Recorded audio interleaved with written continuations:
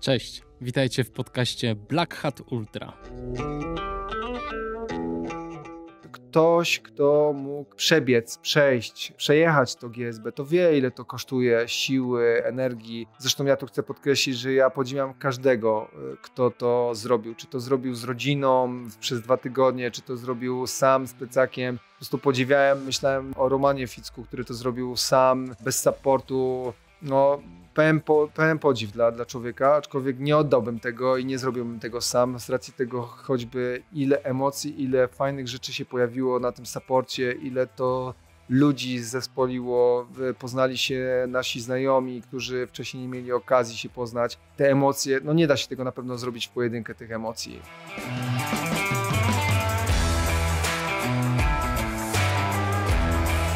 To był Jarek Gonczarenko. Ja nazywam się Kamil Dąbkowski i witam Was w podcaście Black Hat Ultra.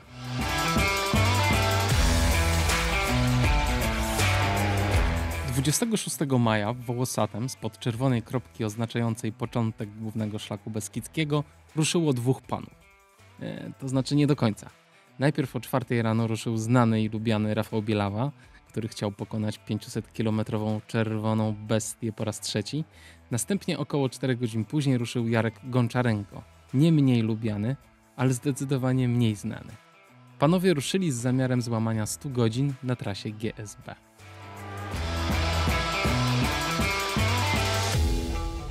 Czasem jest tak, że największe emocje generują te wydarzenia ciche, niezapowiedziane, kameralne. Tak było i tym razem. Nie jeden festiwal biegowy może pozazdrościć tych emocji, zaciśniętych kciuków, pchania kropek, zaangażowania i wspaniałych kadrów Karoliny Krawczyk i Janka Nyki. To, co wydarzyło się w tych dwóch teamach supporterskich, Rafała i Jarka, na zawsze pozostanie w ich sercach. Takiej solidarności nie doświadczamy często i uświadamia nam to, jak bardzo ultra może być sportem ważnym, bo jednoczącym nas wszystkich. Jeżeli spodoba Wam się to nagranie i zechcecie wesprzeć ten podcast, to zapraszam na patronite.pl ukośnik Black Hat Ultra. Dzisiaj chcę Was zaprosić na rozmowę z Jarkiem Gonczarenko, który ustanowił nowy rekord GSB na 95 godzin. Jak usłyszycie, podejście Jarka do biegania i trenowania do tak dużych dystansów jest zupełnie inne od tego, co mieliście szansę usłyszeć wcześniej w tym podcaście. Wielką nieobecną tego nagrania jest Kinga Kwiatkowska, wspaniała biegaczka, partnerka Jarka i szefowa jego supportu.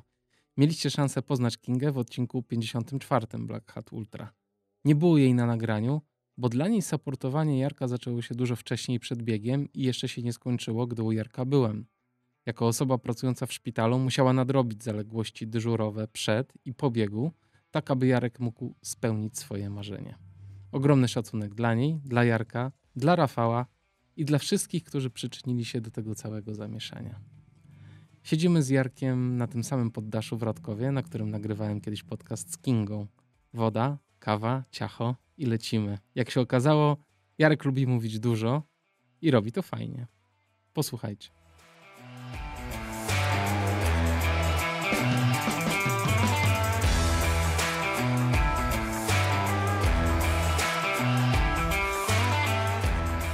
Czy generalnie to chyba większość ludzi jest w szoku na razie i nie, wiedzą, nie ogarniają. Co się, nie ogarniają, co się w ogóle, co to jest ten Gonczarenko. To jest? Jakiś taki biegacz z Ukrainy? No właśnie, dokładnie tak. Jest strasznie dużo takich głosów, którzy po prostu nagle cię odkrywają. No ten, no, I stwierdzają, bo, co to za gość w ogóle. No że, że... Ja do tej pory nie wygrałem ani jednych zawodów. E, gdzieś, e, zawsze gdzieś tam byłem, znaczy no zawsze, nie zawsze, ale gdzieś tam byłem pierwszy, drugi, czwarty, tak, już się śmieją, że jestem takim zawodnikiem drugiego miejsca. E, nigdy nie wygrałem żadnych zawodów, no to też skąd mieliby mnie znać. No. Nie udzielam się w internecie, nie jestem człowiekiem, który jest, nie wiem, twarzą jakiegoś Dynafita czy, czy jakiegoś, jakiejś innej marki, która gdzieś sponsoruje biegaczy. To prawda, dlatego Jarku przyjechałem do ciebie, żebyś opowiedział trochę o sobie. Niestety, to jest wynik tego, że za dobrze pobiegłeś to GSB. No gdybym wiedział, to bym rzeczywiście troszeczkę zwolnił. I już oddał Rafałowi ten, ten rekord. Tak, tak. Znaczy, wiesz, jednak dalej rywalizacja sportowa u mnie jest e, na takim poziomie, że no śmieją się, że nie potrafię grać w szachy z dzieckiem i dać mu wygrać, tak? I jak mam możliwość rzeczywiście powalczenia o jakiś dobry wynik, to to robię. Mhm. Zawsze byłem człowiekiem, który lubił rywalizację od dziecka. Tak? Nie oczywiście nie za wszelką cenę, ale rywalizacja towarzyszyła mi na pewno od dziecka na każdym etapie mojego życia.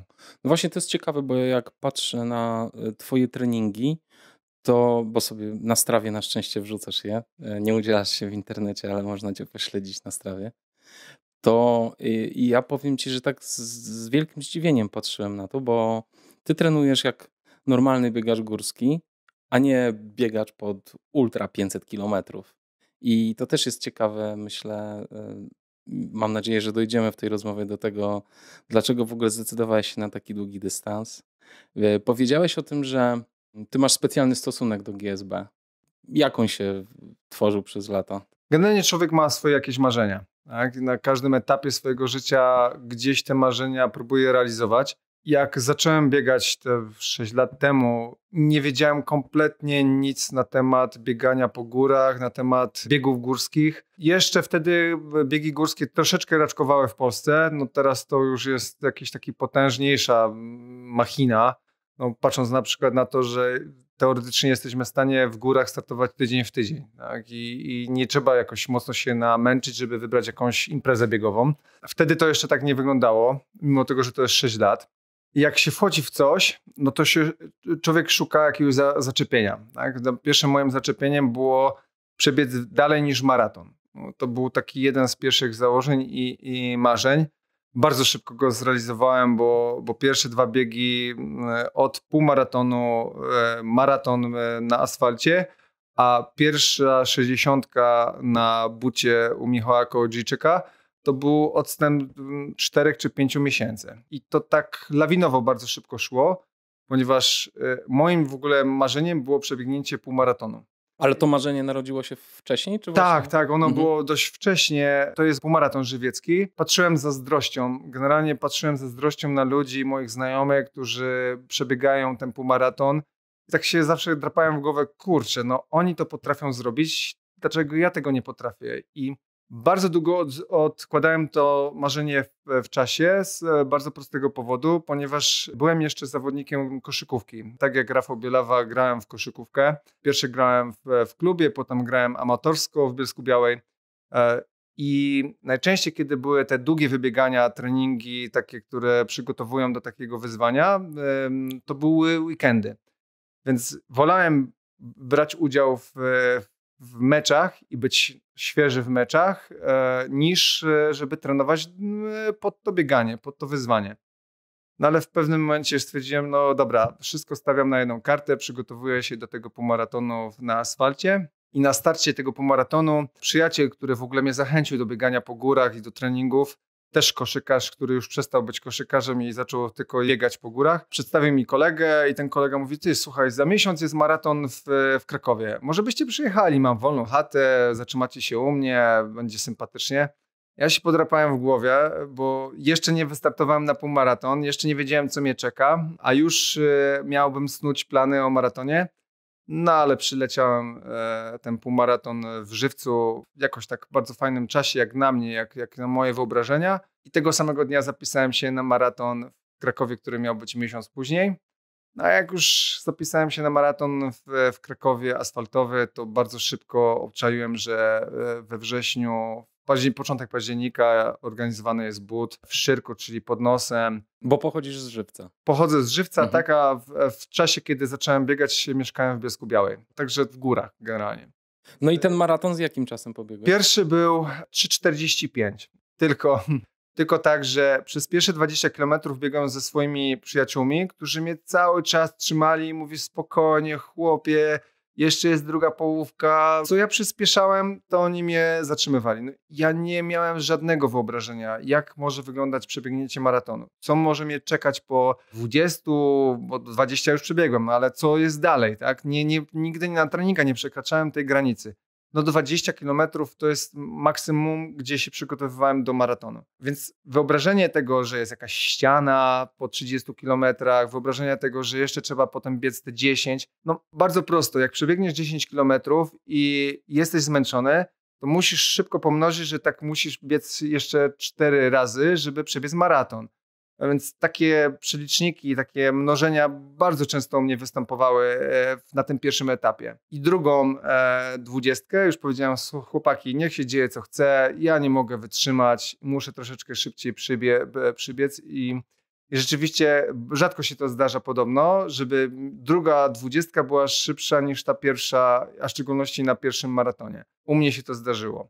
Ale pytając właśnie o tych marzeniach, do, do, do tego chcę wrócić. Gdy masz przebiegnięty maraton, e, to marzysz o czymś więcej, tak? Do, do tego ultra i do tego lasu, w którym ja się zakochałem, w tych górach ja mieszkam w górach, y, mieszkałem zawsze od dziecka. Góry były dla mnie dość dużym symbolem i uwielbiałem góry i dawały mi spokój, ale nie mogę powiedzieć, że byłem człowiekiem, który spędza w górach bardzo dużo czasu, albo żeby się pochylał nad tymi górami w jakiś taki mistyczny sposób. One były obecne, no to tak, tak jest trochę jak, jak mm, ktoś mieszka nad morzem, bardzo rzadko bywa nad samym morzem, tak? Tak samo jak ktoś mieszka w górach, no to i z tymi nartami nie ma takiego kontaktu i nie wiem, za, za bardzo nie chodzi po tych górach. Raczej ludzie, którzy e, czerpią taką 100% z gór, to raczej przyjeżdżają w góry niż w nich mieszkają, tak? bo to jest taka codzienność dla nas. I jak ja odkryłem te góry, odkryłem te szlaki i, i zobaczyłem, że asfalt to jest coś, co, co jest no, nieporównywalne, tak? no bo klepiesz te kilometry, no, przebiegasz między domostwami i jakby nie masz tej wartości dodanej, które dają góry, ja się bardzo mocno zakochałem i powiedziałem, że nie, to jest moje miejsce, maraton y, asfaltowy y, czy jakieś inne imprezy schodzą na drugi plan.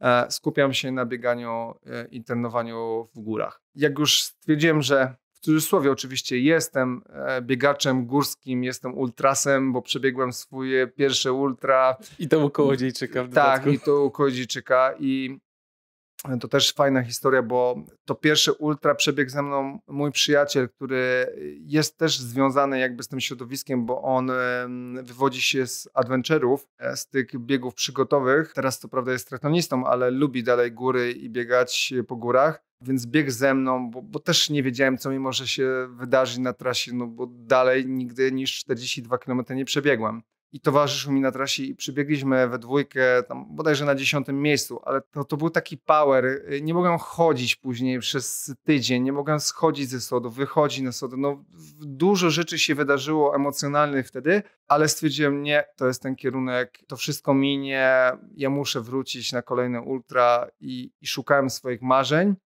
No i w tym czasie właśnie e, pojawił się kiedyś na prelekcji Kamil Leśniak e, na temat UTMB i to był już wow, to było pierwsze marzenie do zahaczenia, a dwa zacząłem słyszeć właśnie o ultrabliźniakach, o Rafale Bielawie, który e, przebiegł GSB w ogóle. Ja nie wiedziałem, że ten szlak biegnie tak blisko mnie i to jest jakiś, to nie jest jakiś kawałek, jakaś wycinka, nie wiem, z, zakładając z węgierskiej górki na Rysiankę, tylko to ma jeszcze tam setki kilometrów dalej, aż do Bieszczad.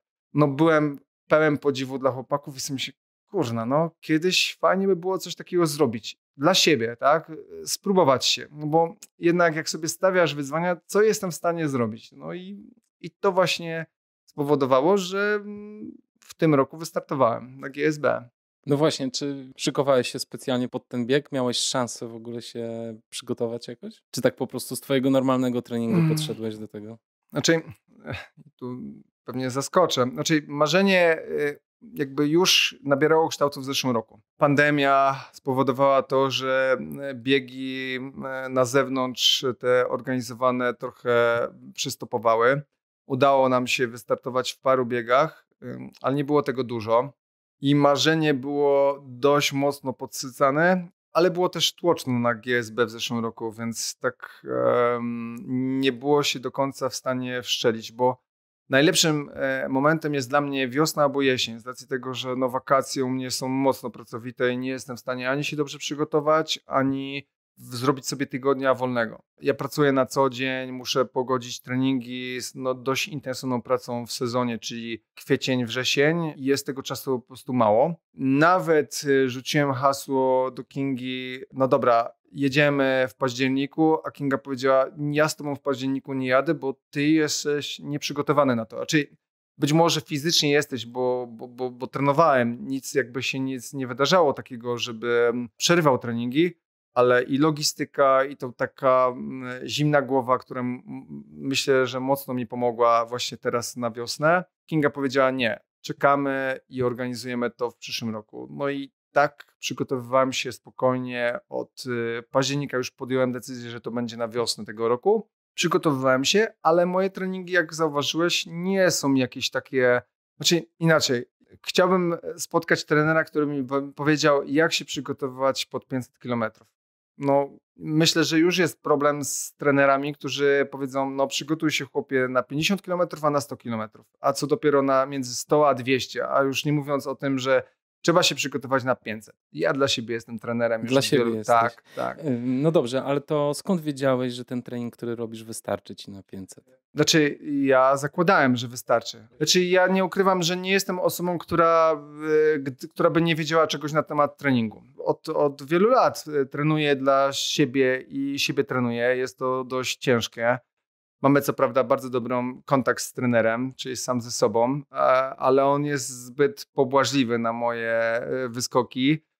Nie przyciska śruby i jak trzeba, to powie: Dobra, no to zrobisz to jutro ale to, żeby była sprawa jasna, na temat treningu mam wiedzę, może nie aż taką mega dużą, obszerną. Ja po pierwsze kończyłem Akademię Wychowania Fizycznego, więc już tam miałem jakąś tą podstawę, plus jestem trenerem pływania, co prawda może trening pływania nie ma nic wspólnego z, z treningiem biegania, ale ma, tak, bo, bo, bo pracuje się na pewnych narzędziach takich samych. Oczywiście zakres ćwiczeń i sama technika jest troszeczkę inna, no ale fizjologia jest taka sama. Co prawda tętna są inne, bo ja pracuję mocno na tętnie. Ja mocno się skupiam na pracy od wielu lat, znaczy od wielu, no tak już od trzech lat, na pracy natętnie, na nieprzekraczaniu pewnych wartości i doprowadzania właśnie, żeby nie doprowadzić swojego organizmu na skraj wycieńczenia, a jednocześnie, żeby go rozwijać. Czyli w których zakresach zazwyczaj trenujesz? Ja przede wszystkim operuję w strefach, nie w zakresach, tak? No, yy, wiadomo, jeśli chodzi o zakresy, no to najlepszy jest ten pierwszy zakres przy takich wysiłkach długotrwałych. To nie znaczy, że nie wchodzę w drugi zakres i to nie znaczy, że tam gdzieś trzeci zakres organizm nie wchodzi, ale to są incydentalne i chwilowe e, wysiłki. Mocno się skupiłem na pewno na sile w tym, e, w tym roku, czy znaczy mocno, mocniej niż zazwyczaj i tu muszę rzeczywiście powiedzieć, że ten akcent był wyrabiany przeze mnie. Nic nadzwyczajnego dodatkowo nie robiłem, żeby powiedzieć teraz, trochę objętość się zwiększyła, tak? bo gdy przygotowuję się do jakichś zawodów, nawet jak przygotowywałem się do siedmiu szczytów, to mój zakres objętości tygodniowej to było od 80 do 100 kilometrów. Teraz troszeczkę wzrósł y, i tak było od 90, y, 100 do 120.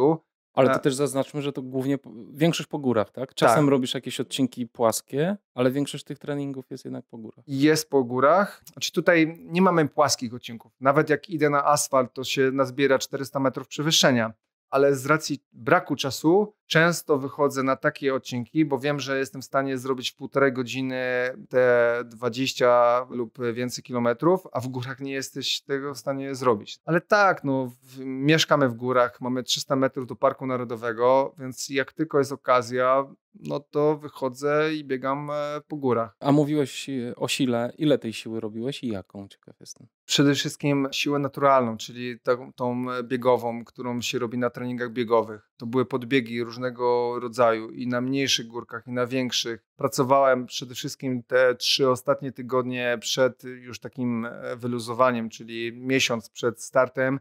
Dużo pracowałem z kikami tu są dość mocne podejścia. Starałem się i wybiegać z kikami, i wychodzić z kikami, w zależności przy którym powtórzeniu, żeby oswoić przede wszystkim ręce do kików, plus no, popracować trochę jeszcze nogami mocno na podbiegach. I raz w tygodniu starałem się wplatać taką siłę stricte z, z ciężarami, ze sztangą, nie dużą, żeby to nie, to nie były ciężary E, jakieś powalające, to tam bodajże największy ciężar to, to był 30 kg i to były podejścia na skrzynie, przysiady. To w ten sposób e, realizowałem swoją siłę. Aczkolwiek jakbyśmy zapytali Kingi, bo e, wczoraj dopiero po raz pierwszy, czyli prawie po tygodniu mieliśmy okazję, żeby porozmawiać i jak ona to odbiera, jak, jak ona to czuwa, powiedziała, że była przestraszona, bo uważała, że robię tego wszystkiego za mało. I to chyba jest, e, znaczy ja nie wiem, czy to się sprawdziło u wszystkich, ale uważam, do, dochodzę do wniosku, że Zresztą patrząc na swoje w ogóle treningi i, swoje przygotowania do wszystkich biegów wcześniejszych, wcale nie ilość tu odgrywa najważniejszą rolę. Jak, jak patrzyłem na twoje treningi, miałem dokładnie to samo wrażenie. To znaczy, tak jak gdybyś robił bardzo delikatne treningi, natomiast y, świetnie biegał imprezy. Może to jest rzeczywiście połączone z tym, że powiedziałeś, że ty lubisz rywalizację i z jednej strony ten trening, który robisz, wystarcza ci, żeby zbudować porządną bazę, ale potem ta cała otoczka biegu, właśnie rywalizacji z innymi pozwala ci, nie jesteś zajechany i pozwala ci wejść na, e, na wysokie obroty, bo zdarza ci się oczywiście schodzić z biegów, nie wszystkie biegi kończysz. Dwa razy. Tak. E, natomiast, e, natomiast jest tak, że rzeczywiście. Znaczy, ja wiem konkretnie, dlaczego to się wydarzyło. Bo, Aha, to ciekawe.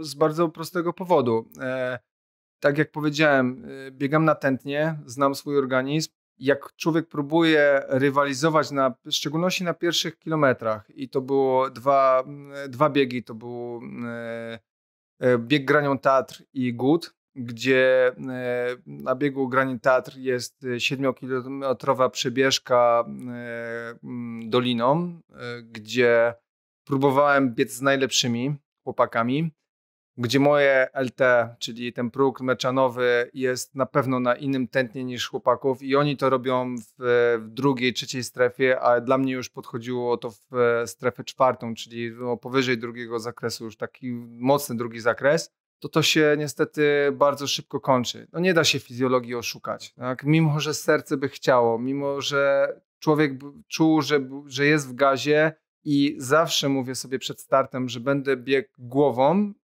i co moim zdaniem to idealnie zaskoczyło na GSB, myślę, że akurat na ten temat jeszcze będę mógł powiedzieć, to w tamtym momencie biegłem serduchem e, i serducho mi podpowiadał, dasz radę, za chwilę będą górki, trochę tętno spadnie, będzie dobrze. No niestety tak się nie wydarzyło. I ten sam błąd popełniłem na Gucie, gdzie jeszcze na Gucie do, doszł problem później delikatnej kontuzji i 14 km przed metą po prostu zszedłem 100-kilometrowej trasy. To było dwa razy, a rzeczywiście nawiązując do tego, czy imprezy mi wychodziły dobrze, na mój taki ogląd tak, ale wydaje mi się, że byłem w stanie wyciągnąć z treningu tego, co robię od, od już e, paru e, lat, znaczy od dwóch, trzech lat łącząc oczywiście z pracą, bo naprawdę nie jestem w stanie poświęcić i nie mam takiego długiego czasu na regenerację, nie jestem w stanie zrobić dwóch treningów w ciągu dnia, trenuję pięć razy w tygodniu, czasami sześć, to będzie fajnie.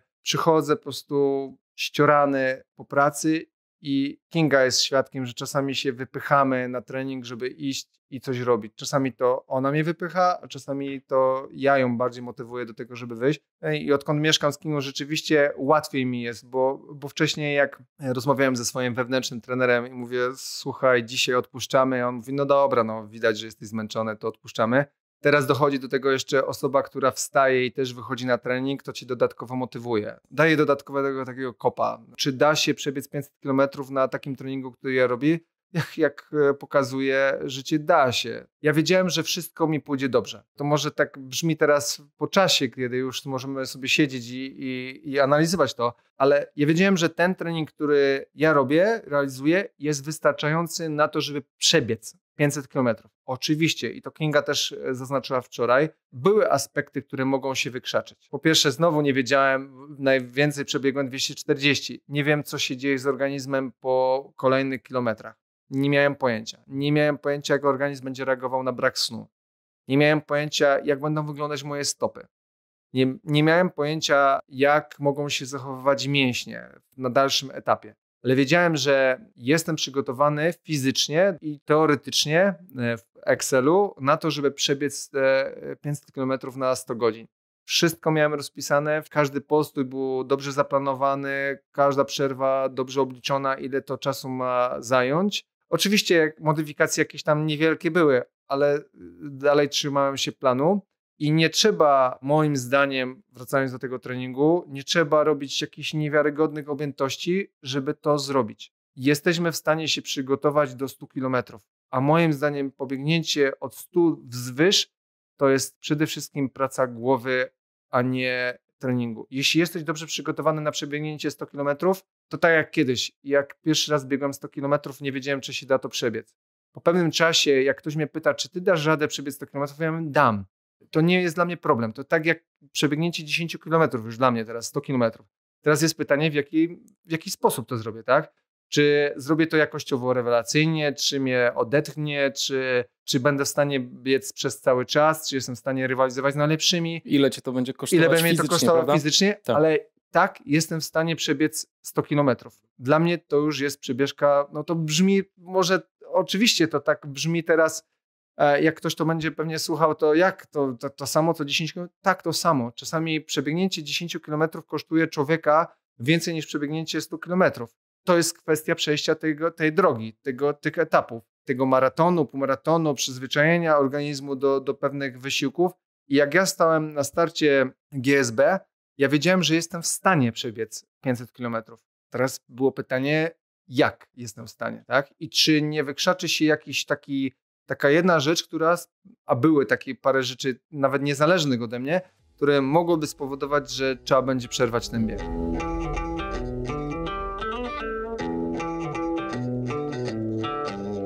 Czego się najbardziej obawiałeś? Czego się najbardziej obawiałem? Tak. Wiesz co, chyba najbardziej się obawiałem nawet nie ze strony siebie, a ze strony tego, że Kinga to będzie w stanie wszystko ogarnąć. Znaczy ja, wierzy, ja wierzyłem w to, że Kinga będzie to w stanie wszystko ogarnąć, ten cały support. Jestem pełen podziwu dla, dla Kingi i dla w ogóle dla każdej osoby, która się dołożyła do tego, bo, bo logistycznie dogranie tego, bo fajnie to wszystko wyglądało na papierze, ale logistycznie dogranie tego to kosztowało ją na pewno dużo sił. Ona była sama, jeździła za tobą w samochodzie? Czy? E, różnie to wyglądało, bo pierwszy dzień w ogóle odpoczywała z Forestem i w pierwszy dzień moi przyjaciele, właśnie z tym, którym przebiegłem pierwszy swój ultramaraton, obsługiwali mnie przez e, całe Bieszczady i oni byli dla mnie supportem. Później zabrali Foresta, Kinzy i Kinga do Krynicy, była sama. No i później w kolejnych etapach, bo podzieliłem sobie to na cztery etapy, kolejne osoby dojeżdżały, już ją wspierały i pomagały. Ale bałem się właśnie, że Kinga tak mocno się zaangażuje, że zapomni o, o sobie, o, o odpoczynku dla siebie, a to tak się wydaje. Ja niewiele spałem, ale Kinga wcale wiele więcej nie spała. Tak. tak? A Bo- musi prowadzić samochód? a musi dokładnie, musi, ja się mogłem skupić na, na samym bieganiu, a ona musiała się skupić i na to, żeby być na danym miejscu, przygotować mi jedzenie, przygotować mi ciuchy, dograć ludzi, którzy przyjeżdżali, którzy, którzy się wymieniali gdzieś na każdym punkcie. Jak tak wczoraj rozmawialiśmy na ten temat i mi opowiadała, ile i to emocji, tak naprawdę ten podcast to nie powinien być zrobiony ze mną, e, tylko ten podcast powinien być zrobiony z całą ekipą, która towarzyszyła e, Powiem ci, liczyłem trochę na to, że Kinga tu będzie, a szkoda, że nie. E, w- No niestety dyżur dzisiaj uniemożliwił jej tu siedzenie razem z nami, bo na pewno e, mogłaby powiedzieć o mnóstwo emocjach, które jej towarzyszyły. Tak samo pewnie jakbyś siadł z ekipą Rafała Bielawy, to by były całkowicie inne spojrzenia niż samego Rafała. Tak, tak samo są moje inne spojrzenia na GSB niż całej ekipy, która mi towarzyszyła. Oni się dzielą teraz ze mną tymi spostrzeżeniami, jak ja wyglądałem, jak ja się zachowywałem, co, co ich naprawdę urzekło, co, co, co wprawiało, że zakłopotanie. To historia o GSB to, to historia ich, a nie mnie. Ja miałem prosty cel. Przebiec z punktu A do punktu B na podstawie kartki, klepanie i, i czysta głowa. Hamowanie w Bieszczadach, żeby nie być e, za szybko, rozpędzanie się, oczywiście w cudzysłowie rozpędzanie się na kolejnych etapach. I to był mój cel. Tak? A opowiedz jak z pogodą, bo mi się zawsze wydaje, że największe problemy na GSB to może pogoda sprawić. Czy ty biegłeś na prognozę, czy jak to było?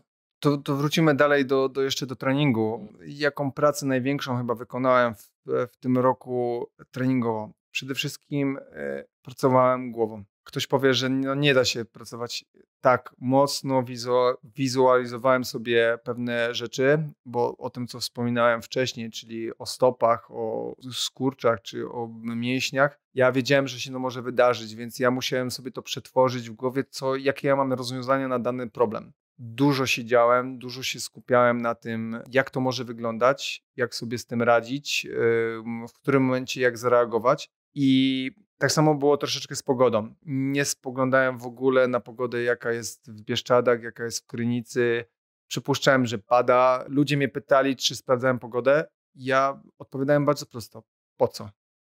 Dla mnie to było kolejne obciążenie głowy. Nie miałem na nią kompletnie wpływu. No, nie jestem w stanie, nie jestem szamanem, cudotwórcą, który by stryknął paluszkiem i zmienił pogodę, żeby była lepsza. Ja miałem się przygotować na to, że może być słońce a może być też deszcz. Wiedziałem, że na deszcz muszę mieć odpowiednią ilość skarpetek, butów, e, kurtek, e, ciepłych rzeczy. E, na słońce jakieś tam filtry i dużą ilość wody, elektrolitów. Ja na to wszystko byłem przygotowany. Nie obciążałem sobie, starałem się przynajmniej nie obciążać żadnymi dodatkowymi rzeczami, na których po prostu nie miałem wpływu. A wszystkie, które miałem, na które mam wpływ, starałem sobie je tak poukładać, żeby jak najszybciej na nie zareagować. Przygotowałem stopy do tego, e, do, do tego że może być mokro i rzeczywiście było mokro, bo, bo pytałeś, jaka była w ogóle pogoda na GSB.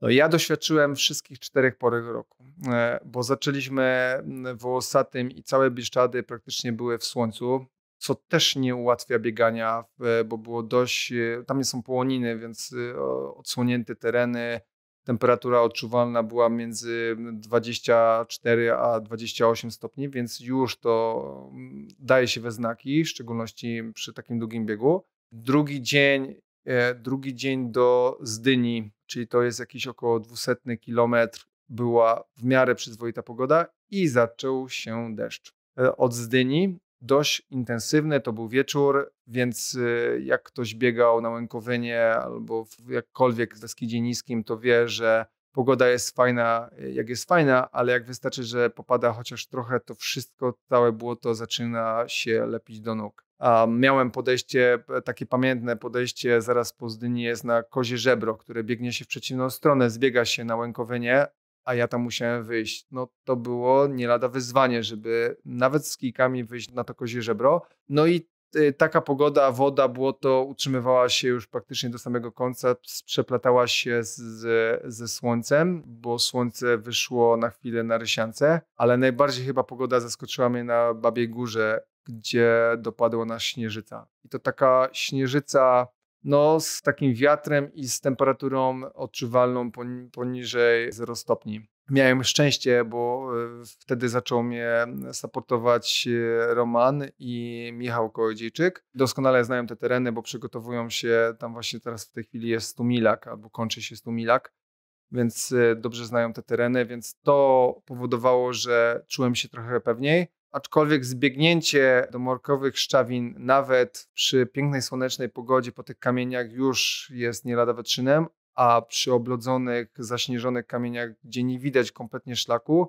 no było takim momentem dość, dość takim newralgicznym bym powiedział, ale wszystko w porządku się udało. No i ostatni dzień to burze, deszcz, mokro dużo, Czyli miałeś tak połówkę mniej więcej normalną i połówkę w deszczu, drugą połówkę tak, w deszczu. Tak, tak, mhm. Także mm, pogoda nie była idealna, ale nie zaskoczyła mnie jakoś. Może rzeczywiście ta babia, e, babia góra, która mnie rozwaliła i nie byłem przygotowany nawet. Pożyczali mi właśnie Michał i, i jeszcze jeden kolega mi pożyczał spodnie długie. Na to w ogóle nie byłem przygotowany. No stwierdziłem, no co się może wydarzyć. W krótkich spodenkach uwielbiam biegać Um, więc nawet jak trochę popada deszcz, to yy, i to rzeczywiście to była rzecz, którą, której nie przewidziałem. Także człowiek i mm, organizm przede wszystkim po 200-300 kilometrach już jest tak e, wymęczony, że bardzo, bardzo szybko temperatura mu potrafi spaść. I niewielkie załamanie pogody i mm, może go doprowadzić do takiego ochłodzenia. Zresztą no, historię z Chin chyba już wszyscy znają, gdzie załamanie pogody dla nawet najlepszych biegaczy może doprowadzić no, do, do tragedii. I to na 20 km. Tak, i to na 20 km.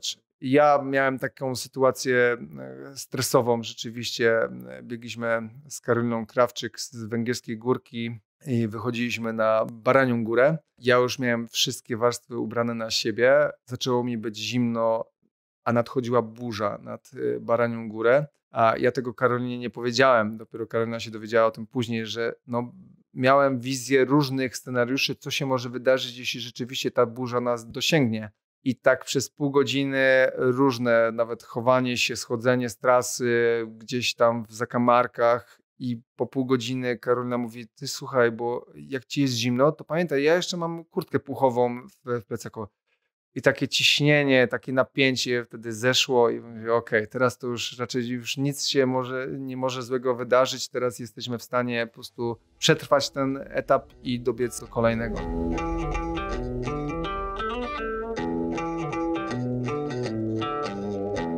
A jak z e, pożywieniem? Udawało ci się normalnie przyjmować pożywienie, czy miałeś jakieś kłopoty tutaj? Idealnie. Tak? Tak. E, w, zarówno, zarówno na punktach, jak i, jak tak, w trasie? Tak. To, to generalnie miałem podzielone sobie etapy. No, te etapy rzeczywiście były podzielone na temat tego, gdzie ktoś może dojechać. Te etapy mogły być albo najmniejsze, bodajże miał 12 km, najdłuższy 30 km. Um, było to w, w, ten sposób zawsze podzielone, że na tych krótszych, e, znaczy między etapami, czyli nie mm, e, taka przelotówka jak była, to miałem 10 minut przerwy i na tych 10 minutach e, starałem się zawsze zabrać jakiegoś naleśnika, coś na szybko, naleśnik, jakiś banan, jakiegoś pieroga, no coś, co jestem w czy kanapkę, coś, co jestem w stanie na szybko zjeść E, a co mm, właśnie dwa takie etapy miałem 40-minutową przerwę i starałem się zawsze 40 minut siedzieć, mimo tego, że nie było co robić, to, to siedziałem i wtedy zawsze było też przygotowane na ciepło. To były kasze, to były makarony, to były ryże, e, to były e, zupy zmiksowane, to, żeby coś ciepłego zawsze organizm przyjął. To rano była jajecznica, jakieś pierogi, no, generalnie ciepłe jedzenie nie miałem kompletnie z tym problemów. Na dłuższych odcinkach, które trwały właśnie do 30 km, dodatkowo zabierałem ze sobą żele. E, jeśli e, były krótsze odcinki, tych żeli starałem się nie używać. Żele były z 5-6 żeli maksymalnie w ciągu dnia, nie, nie więcej, więc nie, jakby nie posikowałem się żelami. Żele były raczej dodatkową opcją paliwa niż e, podstawową. Podstawą było jedzenie. Jedzenie, jedzenie, jedzenie przede wszystkim. E, wszystko wchodziło, nie było żadnych problemów jakichś tam większych żołądkowych. Czasami się w duchu śmiałem, że ten GSB to taka nieustanna feta, gdzie się po prostu je, i biegnie, je i biegnie, je i biegnie. Nie miałeś jakiejś takiej stałej rutyny, że co pół godziny musisz coś przekąsić? Nie, nie, nie. Myślę, że twój żołądek by tego nie wytrzymał. Też starałem się oczywiście nie zjadać, jak miałem całą kopę makaronu, to nie starałem się nie zjeść go naraz, tak? I, i raczej to sobie rozdzielać. Później, jak już e, zaczęli ze mną ludzie biec e, i mi towarzyszyć, bo na, pierwszym etap, na pierwszych dwóch etapach, czyli mm, do około 250-kilometrowej trasy, tak, czyli do Krynicy, miałem tylko raz Wojtka na 30 kilometrów. To była osoba, która też nie była zaplanowana i ona doszła jakby w trakcie tego biegu. Dopiero za Krynicą e, w Rytrze to, była, to był pierwszy moment, kiedy ktoś zaczął ze mną biec. I te osoby zawsze miały jakiś tam naleśnika ze sobą, czy jakąś kanapkę, którą nawet mi wciskały. Tak, ale to już był taki etap, gdzie takie przyjmowanie, jak na, nie mogłem tego robić na pierwszym, nie, nie chciałem, nawet mi się nie chciało jeść na tych pierwszych etapach. Tak na tych etapach późniejszych nie ukrywam, że jadłem częściej. Mniej, ale częściej. Jedzenie było, tu zagrało rewelacyjnie. Picie jakie miałeś ze sobą? Zawsze miałem wodę i zawsze miałem izotonik. Na punktach dodatkowo było od czasu do czasu piwo bezalkoholowe, które bardzo dobrze um, zmieniało smak y, i było zimne. No i też wchodziła Coca-Cola. I oczywiście kawka, która też, też robiła dobrą robotę. Opowiedz jeszcze trochę o stopach, bo wspomniałeś o nich y, kilkukrotnie. Jaki miałeś plan na stopy, bo to potrafi zniszczyć kompletnie taką wycieczkę 500-kilometrową. E, jakie miałeś wcześniej doświadczenia z tym, jak twoje stopy się zachowują w takich warunkach? Jak ci z nimi poszło? Mogę przyznać, że rewelacyjnie e, poszło ze stopami. Dużo pomógł mi twój podcast z Michałem. Kołodziejczykiem. No proszę. E, Kupiłeś Noka. Tak, Proszę. tak. Kupiłem Noka. Zaskoczyło mnie to, bo, bo, bo nie wiedziałem o tym wcześniej i tak e, wysłuchałem go jakiś miesiąc temu. Ten, ten podcast właśnie na temat tego Noka i Tao, bodajże te dwa produkty. I zacząłem je używać e, trzy tygodnie przed GSB.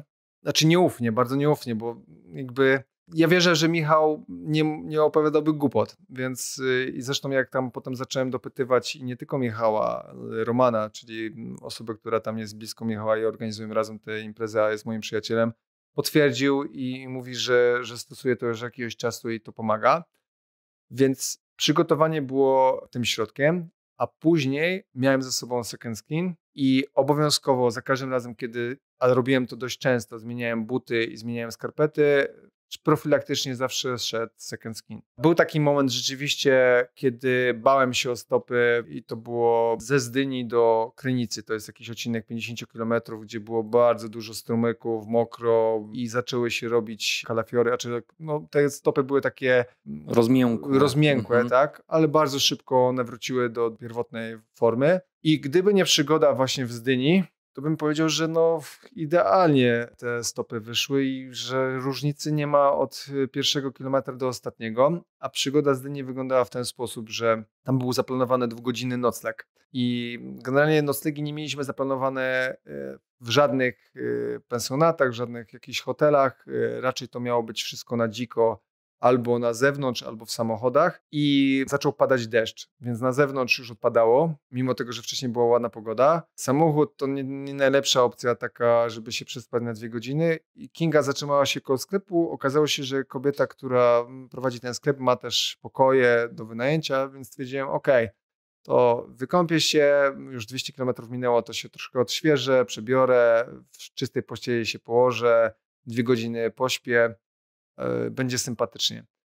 I przy wejściu na tą stację już rozebrałem buty, byłem w klapkach, e, wchodząc drzwi były troszkę zablokowane i mocniej pociągnąłem te, te drzwi i uderzyłem mocno tymi drzwiami o palucha prawej stopy, rozwalając połowę paznokcia, rozwalając e, przód tego palca. Kinga jeszcze tam coś robiła przy samochodzie, a ja z zakrwawionym, naprawdę jeszcze mi zakrwawionym paluchem przychodzę do niej na spokoju, mówię Kinga, potrzebuję twojej pomocy. Kinga jest doświadczoną osobą, która jest w stanie udzielić pomocy, więc e, nie bałem się. Mamy problem, ale jesteśmy go w stanie rozwiązać.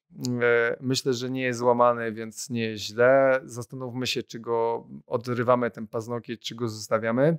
Zostawiliśmy go, obkleiliśmy go tylko. Wszedłem pod prysznic, okazało się, że jest zimna woda, więc y, to też taka ciekawa historia. Nie mogłem zasnąć tam przez te dwie godziny, znaczy no już potem zostało mniej, bo półtorej godziny nie mogłem zasnąć y, na tej stacji, ale cieszyłem się, że Kinga może w końcu odpocząć, więc to też dla mnie było ważne.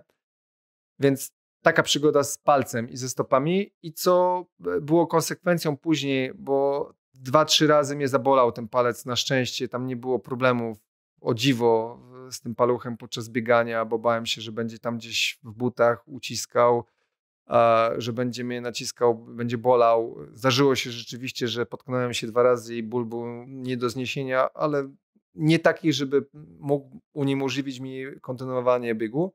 Jedyne, co potem się właśnie wydarzyło, to z racji tego, że miałem plaster na paznokciu, to palec obok no, zrobił się ogniat, który też pękł w pewnym momencie, więc to też się tak wszystko ułożyło.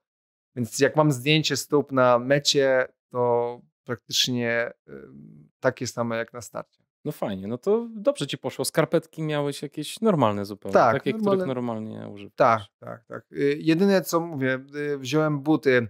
To też historia z butami, bo, bo trochę się rozkrzaczyły buty przed samym startem, więc na szybko mocno kupowałem buty przed samym biegiem. To nie, nie była zbyt dobra decyzja, więc jedne, kupiłem dwie pary nowych butów, z których jednych zrezygnowałem całkowicie, czyli zabrałem je ze sobą, ale wiedziałem, że one będą tak już naprawdę na wszelki wypadek. Bałem się ich używać, ale zabrałem ze sobą wszystkie buty, jakie miałem. Dziurawe, niedziurawe, zjechana podeszwa, no wszystko, co, co generalnie byłbym w stanie przebierać na suchą nogę z racji pokonywania kilometrów w wodzie. Tak? I, I to się sprawdziło. E, buty, które już nawet na treningi nie zabieram, bo są gdzieś tam rozwalone. Tak. tak, tak, to rewelacyjnie się sprawdzały na takim długim dystansie. Jednak sprawdzona rzecz, sprawdzony sprzęt, nawet już poniszczony, jest o niebo lepszy niż niesprawdzony, znaczy niesprawdzony. No, przebiegłem tam z nich 100-150 km, ale dalej to jest, jak coś nie gra w sprzęcie, to ma to znaczenie. No to tak jak e, kamień, który e, masz w bucie i jesteś w stanie 10 km przebiec z kamieniem w bucie, to tutaj od razu jak czujesz kamień, to się nawet nie zastanawiasz, tylko go wy, e, wyrzucasz, ponieważ to nie w tej chwili, ale może to mieć konsekwencje swoje po 200, 300 czy 500 kilometrów. Wielokrotnie razy zmieniałeś buty? W pierwszych przebiegłem 100 kilometrów. Z racji tego, że tak jak wspominałem, Bieszczady były suche, do Comanche jak zbiegałem, tam było trochę błota, taki bagnisty teren i one się zmoczyły, więc po setnym kilometrze, no 94 jest w Comanche bodajże, to tam zmieniłem po raz pierwszy buty, a potem już tak naprawdę regularnie. No, Regular... Na każdym, na, znaczy, za każdym na, razem jak Kingę nie, spotkałeś? Nie, nie, nie, nie, nie. Y, po prostu jeśli były suche, to nie zmieniałem i, i biegło mi się w nich dobrze. Jeśli były mokre, nawet się nie zastanawiałem. No jeden właśnie ze Zdyni do Krynicy był taki moment, bo ja nie zmieniałem, bo wiedziałem, że jak wyjdę z punktu odżywczego Mochnaczka, tak się chyba nazywa ten punkt. Y, to jest zaraz przed Krynicą. Ktoś, kto biegł w drugą stronę, to wie, że to jest pierwsza miejscowość i wie, że tam trzeba przekroczyć dwa strumyki i nie ma szans praktycznie je zrobić suchą nogą, to ja stwierdziłem, że to bez sensu, bo ja wybiegnę 500 metrów i mam mokre buty. Więc zostawiłem już te buty na sobie, zostawiłem te skarpetki. Ten odcinek miał tam bodajże 12 czy 13, to był jeden z krótszych odcinków, więc stwierdziłem, że spokojnie dam radę e, go pokonać. Tak? A w Krynicy już na mnie czekali, czekali już z nową parą butów, już suchą. Wiedziałem, że już tam ta część, czyli Beskid Sądecki jest o wiele suchszy niż niski. Dobrze, co tam jeszcze z tych takich punktów, o które się obawiałeś? To czego jeszcze się obawiałeś przed biegiem? Starałem się nie obawiać mocno, tak. starałem sobie je przepracować. No ale jesteś realistą i starasz się być dobrze przygotowanym. Tak, tak, no do, dlatego jakby mm, e, staram się nie mówić sobie w głowie, co mnie może spotkać, e, raczej staram się analizować, że one się wydarzą i je od, odtrącać, tak? no bo ja nie będę się martwił na zapas, że mnie zaczną bolać nogi, bo będą mnie boleć nogi, tak? Ja wiedziałem, że to będzie wyzwanie, to nie jest wyzwanie stylu przebiegnę 100 kilometrów, tylko to jest coś więcej. Tak? I wiedziałem, że będę zmęczony, wiedziałem, że będę senny, wiedziałem, że nie wiem, że mogę mieć jakieś tam skurcze, czy tam bóle przede wszystkim.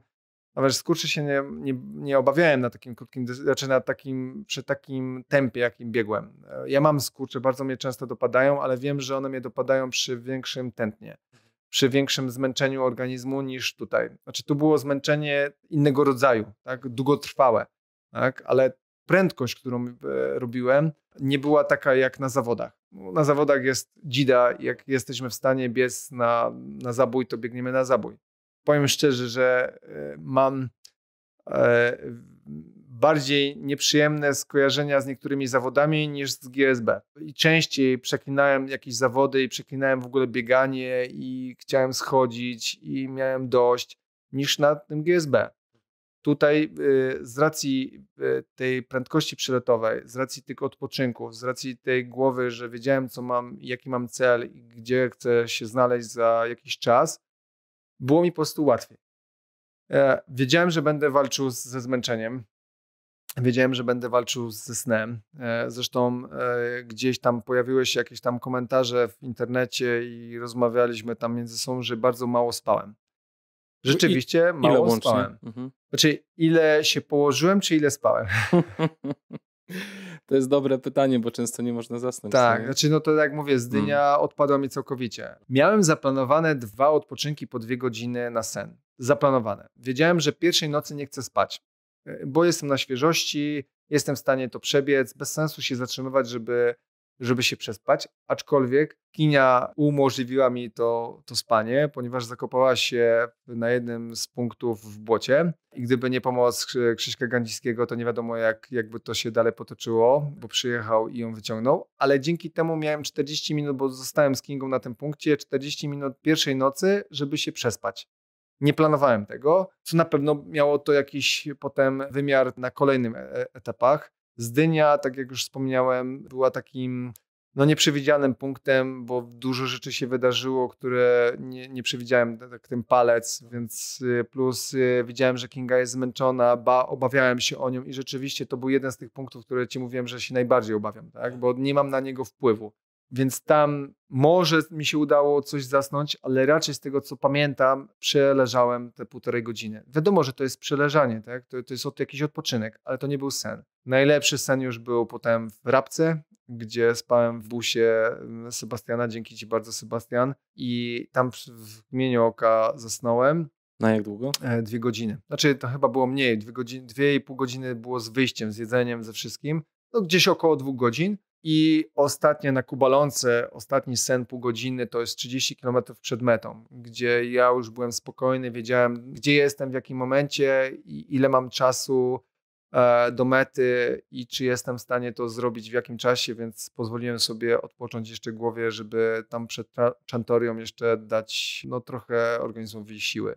Więc suma summarum gdzieś koło 6 godzin leżałem. Z tego może 4-4,5 godzin spałem co oczywiście przekładało się na zmęczenie organizmu i każdy etap nocny między godziną drugą a czwartą, piątą to była walka y, ze snem. I to taka walka typu, że zamykały mi się oczy, gdy miałem kijki w ręce. Jak zbiegałem i był jakiś taki teren e, techniczny, było w porządku. Wystarczy, że brałem kijki do rąk, opierałem się na nich, czułem, że gdzieś odlatuję na prawo albo na lewą stronę. Ale udało mi się to jakby przełamać. Później w, w kolejnych etapach już mi ludzie towarzyszyli, więc była to rozmowa. Mm, czasami jak z Karoliną jakaś taka nawet poważniejsza e, dysputa, co powodowało, że człowiek się bardziej koncentrował i, i zapominał o tym zmęczeniu.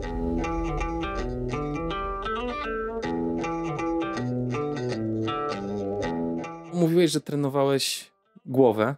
Tak. Wspominałeś o tym, że różne scenariusze sobie zapodawałeś i myślałeś o nich, jak sobie radzić z problemami, ale czy coś jeszcze z takiego treningu mentalnego mógłbyś nam opowiedzieć? Że generalnie to Chyba moja praca jest takim treningiem mentalnym.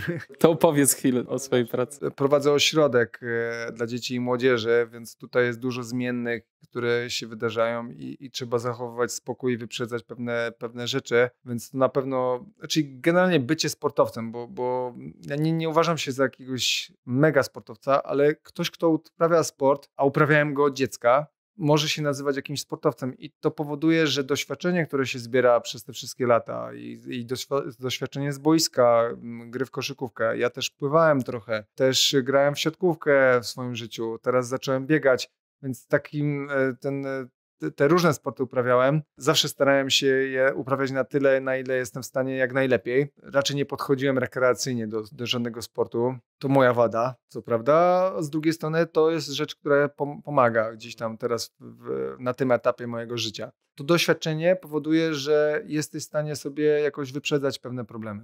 Y, na pewno trochę poświęciłem czasu na oddychanie. To też y, mi pomogło. Może dlaczego... W trakcie biegu czy statycznie? Nie, w, w, tu Medytacji? statycznie medytacja. Mhm. Że może nie nazwałbym tego medytacją, bo to już dla mnie jest jakieś takie, przepraszam, mocniejsze e, pojęcie, ale na pewno starałem się na tym skupiać tutaj na treningach. Chyba to też dlatego, żeby dać sobie uspokojenie po pracy, uspokojenie po treningach. Muszę się przyznać, że nienawidzę treningów e, tych core, nie lubię treningów siłowych, zawsze mi to wchodzi bardzo trudno. Więc jak jestem jeszcze w stanie dołożyć tam 10 minut ćwiczeń oddechowych czy, czy rolowania do takiego, nazwijmy to treningu półtora godzinnego, godzinnego, to, to, to lubię, tak? Bo to zawsze mi powoduje, że czas mija. Jest jakiś taki poziom wykonywania pracy, także no nie odhaczam, że jednak coś wykonałem, co się też jednak przekłada później. To tak się wydaje, ale to pomaga. Czyli trenujesz generalnie i w pracy, i na co dzień taki wewnętrzny spokój, tak? Tak, jak, Dystans. moi, jak moi pracownicy mówią, że rzeczywiście czasami mógłbym wybuchnąć, to, to staram się to rzeczywiście robić na spokojnie, bo, bo wiem, że niektóre, czyli to nie znaczy, że jestem takim mega spokojnym człowiekiem, że nie wybucham, że nie mam nerwów, że nie, czasami nie popełniam błędów takich, takich komunikacyjnych, bo to też mi się zdarza, ale staram się zawsze podchodzić na, na chłodno do, do pewnych sytuacji. Praca z dziećmi, bo jestem pedagogiem jakby z wykształcenia. To jest to praca, nie to, co się dzieje teraz, tylko to, co się może wydarzyć y, za chwilę. Jakie konsekwencje dana rzecz może przynieść za chwilę. Jeśli dziecko bierze zamach z piłką, to czy on sobie zrobi krzywdę, albo czy zrobi krzywdę komuś innemu. To jest ta praca to tak się wydaje, że, że to nie jest ważne, ale to jest ważne i to tak samo przynosi efekt później, przekładając na bieganie. A w szczególności przy takim długim dystansie. Ja zapominam przy krótszych dystansach albo na zawodach o tym. Tak jak wspominałem, ja biegnę za często sercem niż głową. To oczywiście czasami daje pozytywy. Tak? W postaci tego, że robię, tak jak stwierdziłeś, wynik lepszy niż, niż na papierku by się to wydawało a czasami przynosi e, efekt odwrotny, czyli jednak serce by chciało, ale organizm mówi dość i niestety nie da się pogodzić jednego z drugim i się gdzieś tam schodzi, albo rezygnuje, albo zwalnia. Dla mnie najważniejsze i to też na zawodach, i to też tutaj było. Ja wiedziałem, że ja walczę z jednym zawodnikiem, jednym, jedynym, czyli ze sobą i ze swoimi słabościami. Tak samo mam na zawodach. Może to też jest minus mojej rywalizacji. Może to dlatego nigdy nie byłem na najwyższym stopniu podium, e, że ja skupiam się przede wszystkim na sobie i że nie jestem w stanie pójść tak w odcięcie, takie, tak, do, takiego, do takiej granicy um, już takiej totalnej e, dno, zero paliwa, zero jakiejś możliwości, ale idę na zabój, bo, bo tam jest zawodnik, którego jestem w stanie dogonić. Tak? Zawsze mówię sobie spokojnie, to ty rywalizujesz ze, sobą, ze samym sobą, jeśli to ci da pozycję taką i taką, to rewelacyjnie. Jeśli nie, to biorę w czemno drugie, czwarte, szóste miejsce. Nigdy z tym nie miałem problemu, żeby no, przegrać. To nie jest złe słowo, bo oczywiście jest jeszcze parę dziesiąt osób za mną. Ale, żeby uzyskać gorszą lokatę. Tak, tak, mhm. tak, tak. Mhm. Jest to niewątpliwie cecha, która z jednej strony pozwala na chłodno podchodzić, ale z drugiej strony być może, jak to mówią, kto nie ryzykuje, nie pije szampana, tak? Nie potrafię ryzykować. Ale ciągle lubisz tę rywalizację. To uwielbiam. Mhm. To nie, to słuchajcie, no ja skłamałbym, gdybym powiedział, że nie lubię rywalizacji i oczywiście ona ma jakiś aspekt, no, no po to staję na starcie zawodów, żeby rywalizować, żeby zobaczyć, gdzie, na jakim etapie jestem i kto, kogo jestem w stanie pokonać ale jak już staję fizycznie, to ja nie walczę z, y, y, z imionami czy z nazwiskami, walczę ze sobą. Ja muszę pokonać siebie, żeby to mi pokazało, w którym miejscu ja jestem na skali, tak, czy na liście startowej pozostałych osób. I to dla mnie było ważne. No mówię, to być może to jest tłumaczenie mojej słabości. Jarek, zostaw go, on gdzieś tam się zmęczy później, e, on może osłabnie, ty go dogonisz, ty walcz ze sobą. Jak teraz przyspieszysz, może to być konsekwencje mieć przynoś, przynieść, przynieść na tam 20 km przed metą, czy 10 km przed metą. Ty masz zrobić dobrą robotę, tak? I skup się na, tylko i wyłącznie na sobie. Ale wracając jeszcze do, do treningu mentalnego, ja bardzo dużo siedziałem z, z kartką i z Excelem. Rozpisałem sobie każdy warianty, każdy wariant y, i jak to wygląda czasowo, ile mam podejścia, ile mam zbiegu. Wiedziałem, w którym momencie mam zabrać kiki, kiedy, kiki odłożyć. To prawda, już później te kiki już mi towarzyszyły cały czas przy ostatnich etapach ale na pierwszych e, dwóch etapach odkładałem wtedy, kiedy nie musiałem, mm, bo stwierdziłem, że no nie będę przemęczał zbyt bardzo rąk. Dużo siedziałem nad tym. Na papierze było to rewelacyjne, na papierze byłem no, już rekordzistą, znaczy rekordzistą, że łamię te 100 godzin, tak? Dla mnie to już było fantastyczne. Zresztą zakładając, dla mnie moim wyzwaniem, e, i podkreślę to jeszcze raz, nawet nie było to 100 godzin, nawet nie był ten rekord. Ja chciałem przebiec GSB. Przebiec. A co to przyniesie? Oczywiście na początku zakładam już jakiś cel. No to ciężko też jest i przebiec, bo ja bym mógł to zrobić 12, 14, 20 godzin e, dłużej i też bym przebiegł, tak? Patrząc na tą nutkę mojej rywalizacji, o której rozmawialiśmy przed chwilą, to owszem, cel był przebiec, ale w jakimś konkretnym czasie. Oczywiście ja jestem swoje priorytety, jestem w stanie zmieniać. Um, czyli jeśli bym widział, że no, to nie wypala to, co przygotowałem sobie na, na kartce, no to trzeba zmienić trochę priorytety. Już nie jest to 100 godzin, ale na przykład 107, bo to też taka była opcja. Jeśli nie 107, to niech to będzie przynajmniej 115, tak żeby przebiec, a nie zejść. Była tylko taka jedna e, nić, e, która mogłaby to przerwać, to znaczy musieliśmy być w, w Krakowie w niedzielę wieczorem, więc jeśli bym czuł, że nie jestem w stanie zdążyć, to pewnie bym powiedział, no okej, okay, no nawet jakby to było 20 kilometrów przed metą, no trzeba byłoby skończyć, bo, bo mieliśmy inne prywatne rzeczy, które, które nas zobowiązały do tego, żeby być w Krakowie na wieczór.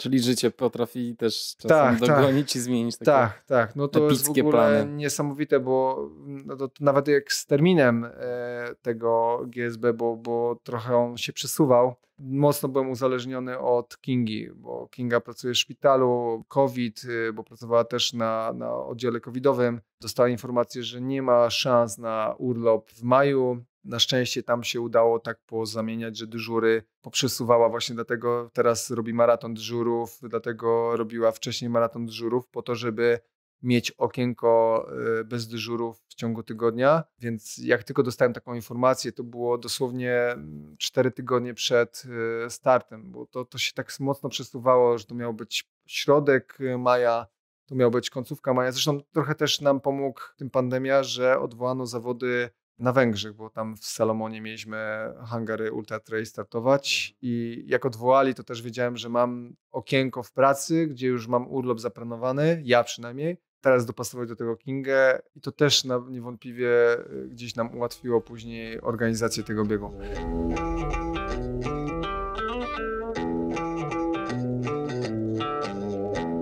To powiedz jeszcze słówko, jak ci się biegło z Rafałem Bielawą?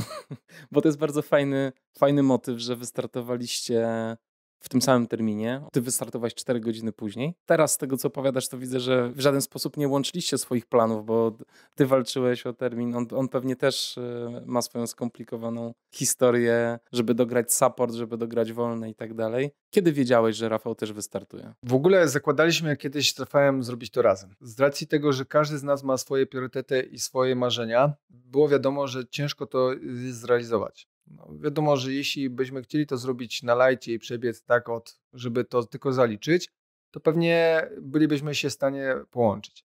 Ale tak naprawdę no, myślę, że Rafał przede wszystkim też nie wiedział, na co mnie stać, bo nie mieliśmy okazji nawet tren te, trenować w ostatnim czasie. Rafał znał swój organizm. Zresztą teraz ja też wiem, że ciężko mi byłoby z kimkolwiek zgrać, bo każdy na takim długim dystansie to kryzysy przechodzą w całkowicie innym momencie. E, każdy inaczej reaguje. Jeden chce spać w teraz, drugi chce spać inaczej, więc jakby rozjechało się to i powiedzieliśmy sobie, że nie, nie startujemy razem. Więc każdy szukał swojego dogodnego terminu, żeby wystartować. I właśnie tam jakiś miesiąc temu, tam trzy tygodnie temu, e, mówię, Rafał, ja już mam termin, a on mówi, ja też, to mów, dawaj, kiedy? A ja mówię, 26, a on mówi, ja też.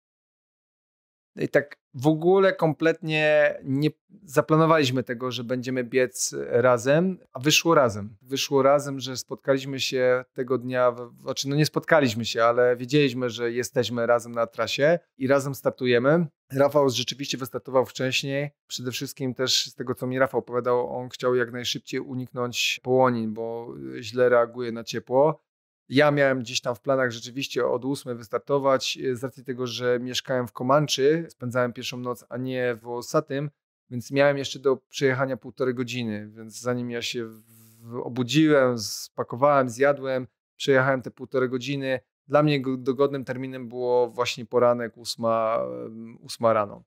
I powiem tak, jeśli chodzi o Rafała, wiadomo, że gdzieś w podświadomości, jak wiesz, że ktoś tam biegnie przed tobą, to nie wiem, może to pomóc, może to zaszkodzić. jeszcze raz, e, jak tam e, podkreślam, ja starałem się całkowicie wyrzucić to, że Rafał biegnie przede mną. Dostałem informację w Cisnej, że Rafał zrobił 20 minut szybciej ten odcinek i wtedy była prosta informacja dla mojego supportu. Nie chcę wiedzieć kompletnie, jak biegnie Rafał.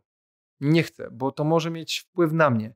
Tak? Bo ja będę albo próbował, jak będę czuł, że Rafał mnie, nie wiem, ucieka, to ja będę przyciskał, tak? Jak, no nie no, bardziej się bałem przyciskania niż zwalniania, no to, to umówmy się. Nie chciałeś, żeby to miało na, na ciebie jakikolwiek Tak, wpływ. tak. Znaczy to ma wpływ, nie- to, to, tego się nie da tak, Tak. e, z abstryknięciem Ale bez uwolnić. konkretów Tak, bez, znaczy ja mówię, nie chciałem wiedzieć. Wiadomo, że tam gdzieś się pojawiały jakieś osoby, gdzieś tam się te supporty mijały. Krzysiek Dołęgowski gdzieś tam e, życzył powodzenia, więc ja wiedziałem, że to, no, nie da się go całkowicie wyrzucić z trasy, z mojej głowy, ale ja nie wiedziałem nawet, o której on wystartował, nie wiedziałem dokładnie godziny, bo wiedziałem, że między czwartą a piątą, bo Rafał mi mówił, że będzie startował między czwartą i piątą, ale dokładnie o której godzinie nie miałem pojęcia. Nie miałem pojęcia, ile jest przede mną. Starałem się to całkowicie e, tonować i ktokolwiek, jak próbował, przepraszam, e, mówić na ten temat, ucinałem to. Nie interesuje mnie ta, ta informacja. I po raz pierwszy na Kubalący, czyli 30 km przed metą, zapytałem wprost: Dobra, słuchajcie, teraz już nie ma kalkulacji, nie ma mm, tutaj zastanawiania się. Lubię Rafała, e, mm, z, przyjaźń przyjaźnią, ale sport i rywalizacja jest najważniejsza. Ja teraz już możecie mi powiedzieć, gdzie on jest, ile mi zostało, czy ja mam nie spać, bo tam właśnie był ten ostatni, e, ostatnia noc i, i ten, e, czy mam zaryzykować iść w trupa i spróbować go doganiać, tak, bo jest różnica między nami, bo ja wiedziałem, że tak naprawdę przez cały czas mniej więcej ta różnica się utrzymywała. Ja nie wiedziałem, że ja go doganiam, ale mniej więcej wiedziałem, że tam z tych informacji, tam ktoś coś mówił, ktoś coś opowiadał na tych punktach, więc tam no, siłą rzeczy tam coś dochodziło do mnie, ale to były e, jakieś takie szczątkowe e, wypowiedzi i na tej kubalące dowiedziałem się, że mam 2 godziny 40 minut e, już zapasu nad Rafałem, czy już go dogoniłem, przegoniłem go, więc ja mówię, dobra, no to ja spokojnie sobie idę się położyć. Ja nie będę tutaj szedł w, w trupa, żeby komukolwiek udowadniać, że nie wiem, że jeszcze jestem w stanie tam coś dołożyć, tak? Ja się wyspałem, znaczy wyspałem w cudzysłowie 30 minut, wystartowałem, po czym się okazało, że Rafała minęłem. Nie wiedziałem o tym. Dostał tam, mój support dostał informację, że Raf, Rafała kropka stoi, więc musiał gdzieś się położyć, e, znaczy to już potem wiedziałem, że się położył w, schronisku, więc z Chantori już zbiegałem przed nim. Aczkolwiek na Chantori zauważyliśmy, że, że jest poruszenie, że zbliża się jego support, no to stwierdziliśmy, że też Rafała, ale to kompletnie mnie nie, nie, ani nie przyspieszałem, ani nie zwalniałem, robiłem swoje. Zatrzymałem się w Polanie, ustrój Polana, to jest już 8 km przed metą, miałem mokre buty, zmieniłem buty. W tym momencie Rafał mnie wyprzedził, to, mnie, to też dla mnie to też było, dla, nie ukrywam, ważne. No i wyruszyłem już na ostatni etap za Rafałem. Czekając e, właśnie mój support, e, część osób e, zaczęła ze mną biec. No sympatycznie 8 km. No i na 3 km przed metą Rafała dogoniłem. No i, i już te 3 km biegliśmy razem i wbiegliśmy, no Rafał wbiegł szybciej przede mną, tak, że przyspieszył przed metą. Także biegliśmy i to dla mnie było bardzo ważne. Nie ukrywam, że się trochę zasmuciłem, jak się dowiedziałem, że Rafała przegoniłem, bo chciałem, żeby Rafał był przede mną. Jednak mimo wszystko, tak? To jemu, to dla mnie jego powrót trzeci raz, gdzie się zaklinał, że nie będzie na GSB i powrót trzeci raz na, na ten dystans. Ktoś, kto mógł przebiec, przejść, przejechać to GSB, to wie, ile to kosztuje siły, energii. Zresztą ja tu chcę podkreślić, że ja podziwiam każdego, y, kto to zrobił. Czy to zrobił z rodziną przez dwa tygodnie, czy to zrobił sam z plecakiem. Po prostu podziwiałem, e, myślałem na drodze, e, o Romanie Ficku, który to zrobił sam, e, bez supportu. No, pełen, po, pełen podziw dla, dla człowieka, aczkolwiek nie oddałbym tego i nie zrobiłbym tego sam, z racji tego choćby ile emocji, ile fajnych rzeczy się pojawiło na tym saporcie, ile to ludzi zespoliło, poznali się nasi znajomi, którzy wcześniej nie mieli okazji się poznać. E, Te emocje, no nie da się tego na pewno zrobić w pojedynkę tych emocji. Tak? To No właśnie, ten y, wymiar społeczny też jest Oj, niesamowity, s- prawda? nie zamieniłbym tego. Ja, znaczy, mi się podoba taki, taka rywalizacja z samym ze sobą i organizacja e, wszystkiego, ale ja zakładałem od, od początku, że, że tego nie jestem w stanie zrobić e, w, tak, jak to Roman zrobił. I naprawdę wyczyn, no pierwsza klasa. To jest e, dla mnie e, coś, co bardzo często mi przychodziło w głowie. Tak? Jak człowiek dużo mu dodaje, że są bliscy obok niego. To są rozmowy, to są wsparcia, to, to są no choćby radość, że ktoś jak, taki jak Karolina przyjeżdża z, na ostatnie etapy z, z Warszawy, Janek, no zresztą nie tylko oni, bo i Mariusz z Poznania, no i moi bliscy, którzy mieli bliżej, ale po prostu to nie, jakby nie jest ważne jaka odległość, bo każdy poświęcił część swojego życia na to, żeby mi towarzyszyć. I tych emocji, które tam nam towarzyszyły, te emocje, które, o których oni opowiadają dzisiaj i pokazują mi, jak to tam wyglądało. To jak mówię, ja mam klapki, ja miałem klapki biec, a oni wszystko to jakby czuli. Tę rywalizację między mną a Rafałem, które, która gdzieś tam mimo wszystko była, tak? Ja tego nie odczuwałem. Oni tak. To, że czy ja jestem zmęczony, czy dobrze wyglądam, czy E, teraz coś zjadłem albo nie zjadł. Zmienił buty, nie zmienił, czy on dobiegnie, jest teraz za szybko, jest za wolno. No, opowiadają mi o tym teraz po czasie, niedługim, bo tak powiedziałem, wczoraj dopiero z Kingą po raz pierwszy mogliśmy rozmawiać. No nie zamieniłbym tych, e, tych emocji, tych ludzi na to, żeby to pokonywać samemu. A mimo tego, że podziwiam Romana, tak? I, to nie chodzi o kwestię strachu, że no, logistycznie trzeba byłoby to dopracować, ale myślę, że właśnie dlatego. To tak samo jak z tymi e, zawodami. Zawody teraz e, w czasie pandemii są fajne, sympatyczne, ale brakuje tego aspektu społecznego, czyli tych spotkań przed, e, spotkań po, integracji, zabawy, uścisków. Ludzie patrzą na siebie z dystansem, nie spotykają się w większych grupach i owszem, no ultra jest, no dalej będzie ultra, tak? ale no, już trzeba chyba wpisać w to ultra, w te zawody właśnie ten aspekt społeczny, który jest bardzo, bardzo ważny. Że, no tak jak mówię, Krzysiek Gandziski, który w, nocy, o pierwszej nocy wsiadł w samochód i przyjechał wyciągnąć Kingę, tak? Nie, nie zastanawiał się, no Kinga jest pierwsza w nocy, no kurczę, a może kogoś tam bliżej znaleźć, tylko siadł w samochód i przyjechał, tak? Są osoby, które gdzieś tam się witało, e, z którymi się rozmawiało na trasie, E, ludzie, którzy dojeżdżali, ludzie, którzy pisali, bo nie mogli przyjechać. No, to są rzeczy, które niewątpliwie dodają do tego co najmniej 30-40% do tego biegania. I, i, I, nie da się tego, znaczy da się to od, odciąć, ale to już nie jest to samo. Tak, i, i coś się jednak traci. E, ludzka natura jest taka, że lubimy doświadczać, ale w momencie, kiedy potrafimy i mamy szansę się podzielić tym z kimś innym, z innym, prawda? To, to właśnie to było no. też tak, to piękne, że mogliśmy z Rafałem wbiec razem tymi dwoma ekipami, gdzie na pewno też była rywalizacja między jego ekipą a, a naszą. To tylko, tylko się nie da odciąć, tak? Możemy sobie mówić teraz to co bądź, i, i skończyło się e, fantastycznie i bardzo mi się podoba, jak to w ogóle wyszło, ale to dalej jest rywalizacja, to dalej jest jakiś sport. No, bicie rekordów to jest, to jest sport. Tak? To nie jest e, wyprawa towarzyska, gdzie, gdzie sobie siadamy na każdym, w każdym stanowisku, wypijamy piwko i, i oglądamy widoczki, e, tylko to jest praca, którą wykonał, niemiłosierną pracę wykonał Rafał, nie, nie, tą pracę, którą ja włożyłem, ale tą pracę, którą włożył nasz support który zrobił wszystko, żebyśmy się dostali do e, ustronia w jak najszybszym czasie. Tak? To jest motywacja, to jest pchanie, to jest, znaczy pchanie w cudzysłowie, tak? E, motywacja, e, podawanie ubrań, to jest zabieranie ubrań, zabieranie kików, podawanie kików. No, to, to jest setki rzeczy, które powodują, że my mogliśmy stanąć na mecie z takim, a nie innym czasem. Tak? I, to, I to jest ta wartość, której bym nie zamienił w żaden, na żaden inny sposób, na żadną inną rywalizację, mimo tego, że podziwiam Romana. I to podkreślę, naprawdę gość zrobił niesamowity wynik, tak?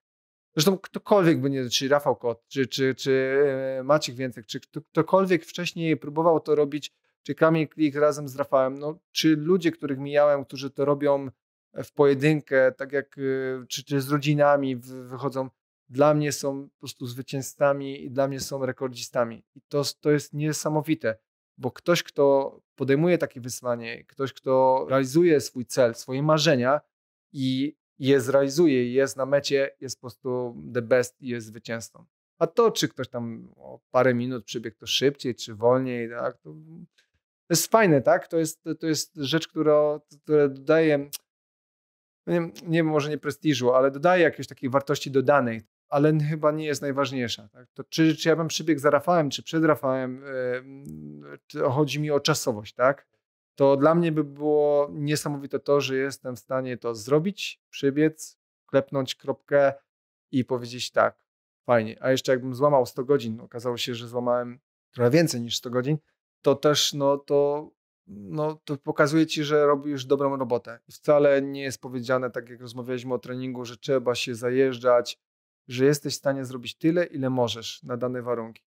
Ale robisz to dobrze, z głową. Tak, absolutnie. No i trzeba też znać swój organizm dobrze, prawda? Niektórzy potrzebują mocniejszych bodźców, żeby się. O, oczywiście.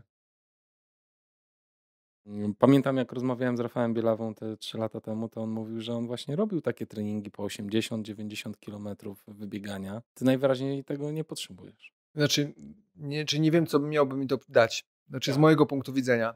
Tak, bo nie przygotowuje cię kompletnie do niczego. Ja testowałem siebie na zawodach. To jest dla mnie test. Te 5 lat, 6 lat to było przygotowanie do GSB.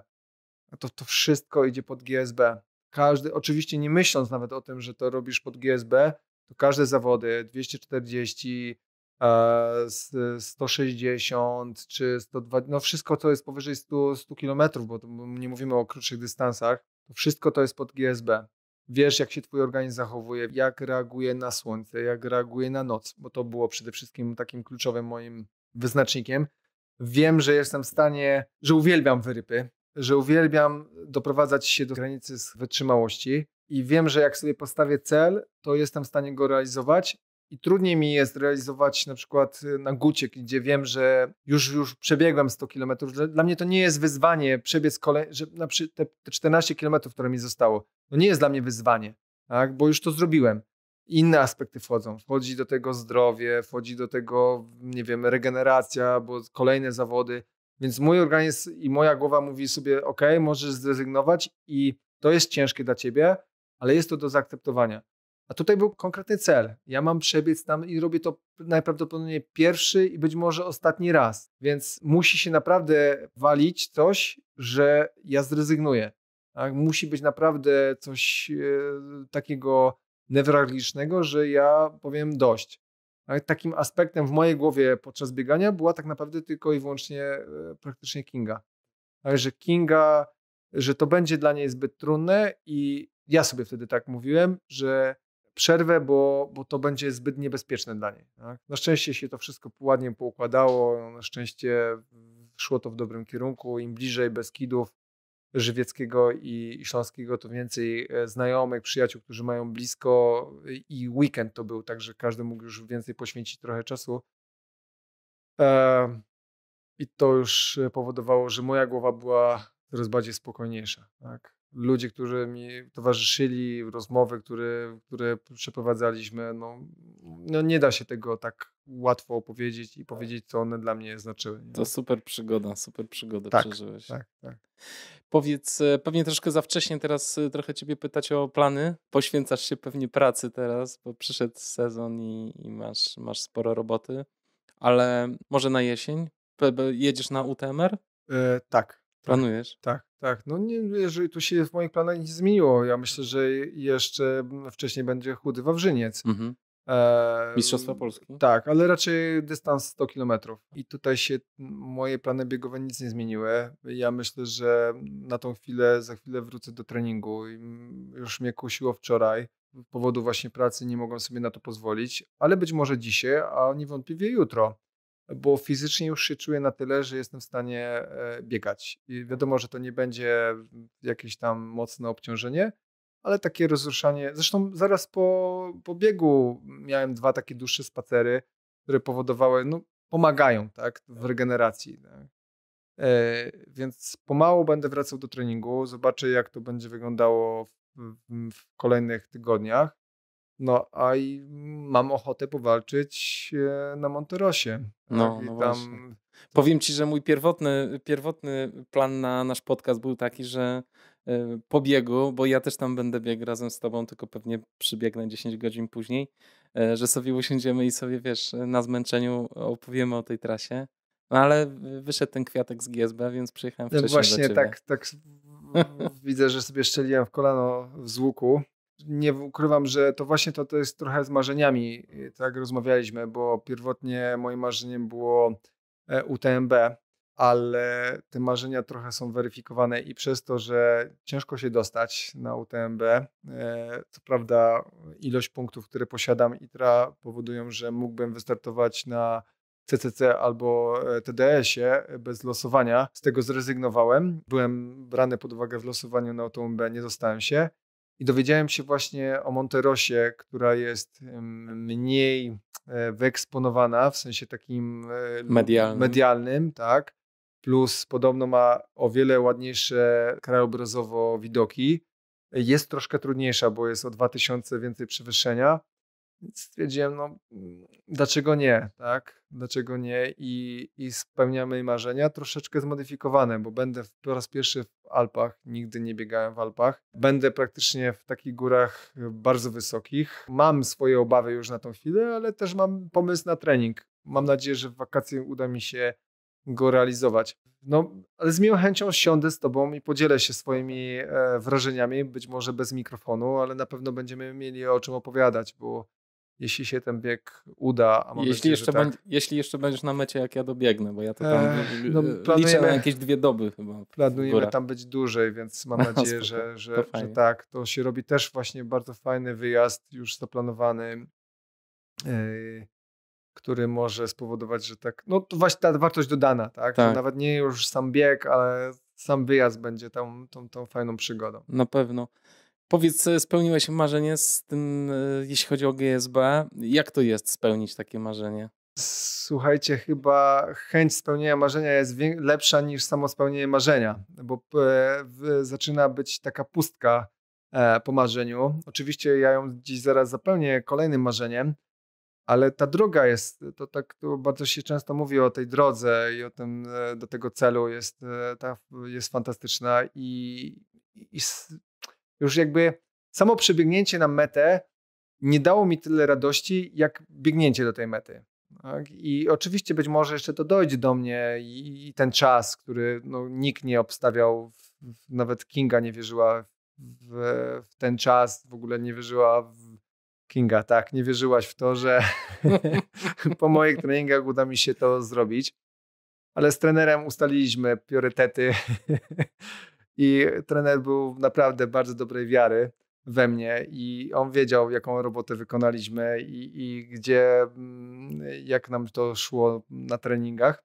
I tak ta pustka jest taka trochę, e, może niewielka, ale jest pustka, którą gdzieś trzeba będzie kolejnym marzeniem wypełnić jest niesamowite spełniać swoje marzenia. Ja zachęcam wszystkich do tego, żeby sobie dawać marzenia. Oczywiście no, marzenia trzeba weryfikować bo, i zmieniać yy, i dostosowywać do, do, do danej sytuacji. No bo wiadomo, że jakbyśmy sobie dali takie marzenie, które ciężko nam zrealizować, to, to byśmy się zapętlili i byśmy mieli tylko czuli frustrację. Cieszę się bardzo, że, że to w końcu zrobiłem. Nie ukrywam, że trochę pomógł w tym wszystkim e, COVID. Bo normalnie to bym się przygotował do kolejnych zawodów. Ja lubię tą rywalizację na zawodach. Pewnie e, tak jak w zeszłych latach gdzieś 8-9 startów miałem w ciągu sezonu. W zeszłym roku tam chyba były 3 czy 4.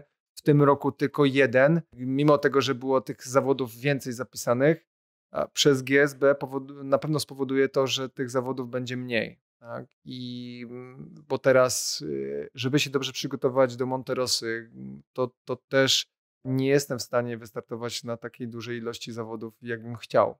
Bo ja lubię tą rywalizację. No, znaczy nawet mówię, przede wszystkim lubię się spotykać z ludźmi, tak? I to jest też fajne. Ja, jedziemy teraz e, na Mardułę, ale ja już w roli kibica bardziej, ale będzie mi brakowało właśnie, jak będę widział, stał tam na, na mecie, czy gdzieś na jakimś punkcie, to będę cholernie zazdrościł ludziom, którzy koło mnie przebiegają no oddałbym. No nie lubię dlatego jeździć na zawody, jak nie mogę wystartować. To jest dla mnie bardzo ciężkie. A co, Kinia startuje, tak? Tak, Kinia Mardue. Tak, o ile się ona odbędzie, w jakiej formie, bo wiemy teraz, że, że Kasprowy jest mocno zasypany, czekamy na komunikat jakiś. Dla Kingi to też będzie bardzo ważny start, bo to e, gdzieś tam pierwsze jakieś szlify e, pod koniec teraz czerwca jedzie e, w Dolomity, gdzie jest główny start i potem też Monterosa, tylko że 100 kilometrów. No to też dla niej będzie ważne, ale będę właśnie starał się odwdzięczyć za to, co ona zrobiła dla mnie e, na GSB. No, niesamowita robota. Konkretna, konkretna i, i naprawdę, wierzcie mi, no więcej chyba pracy niż samego biegacza.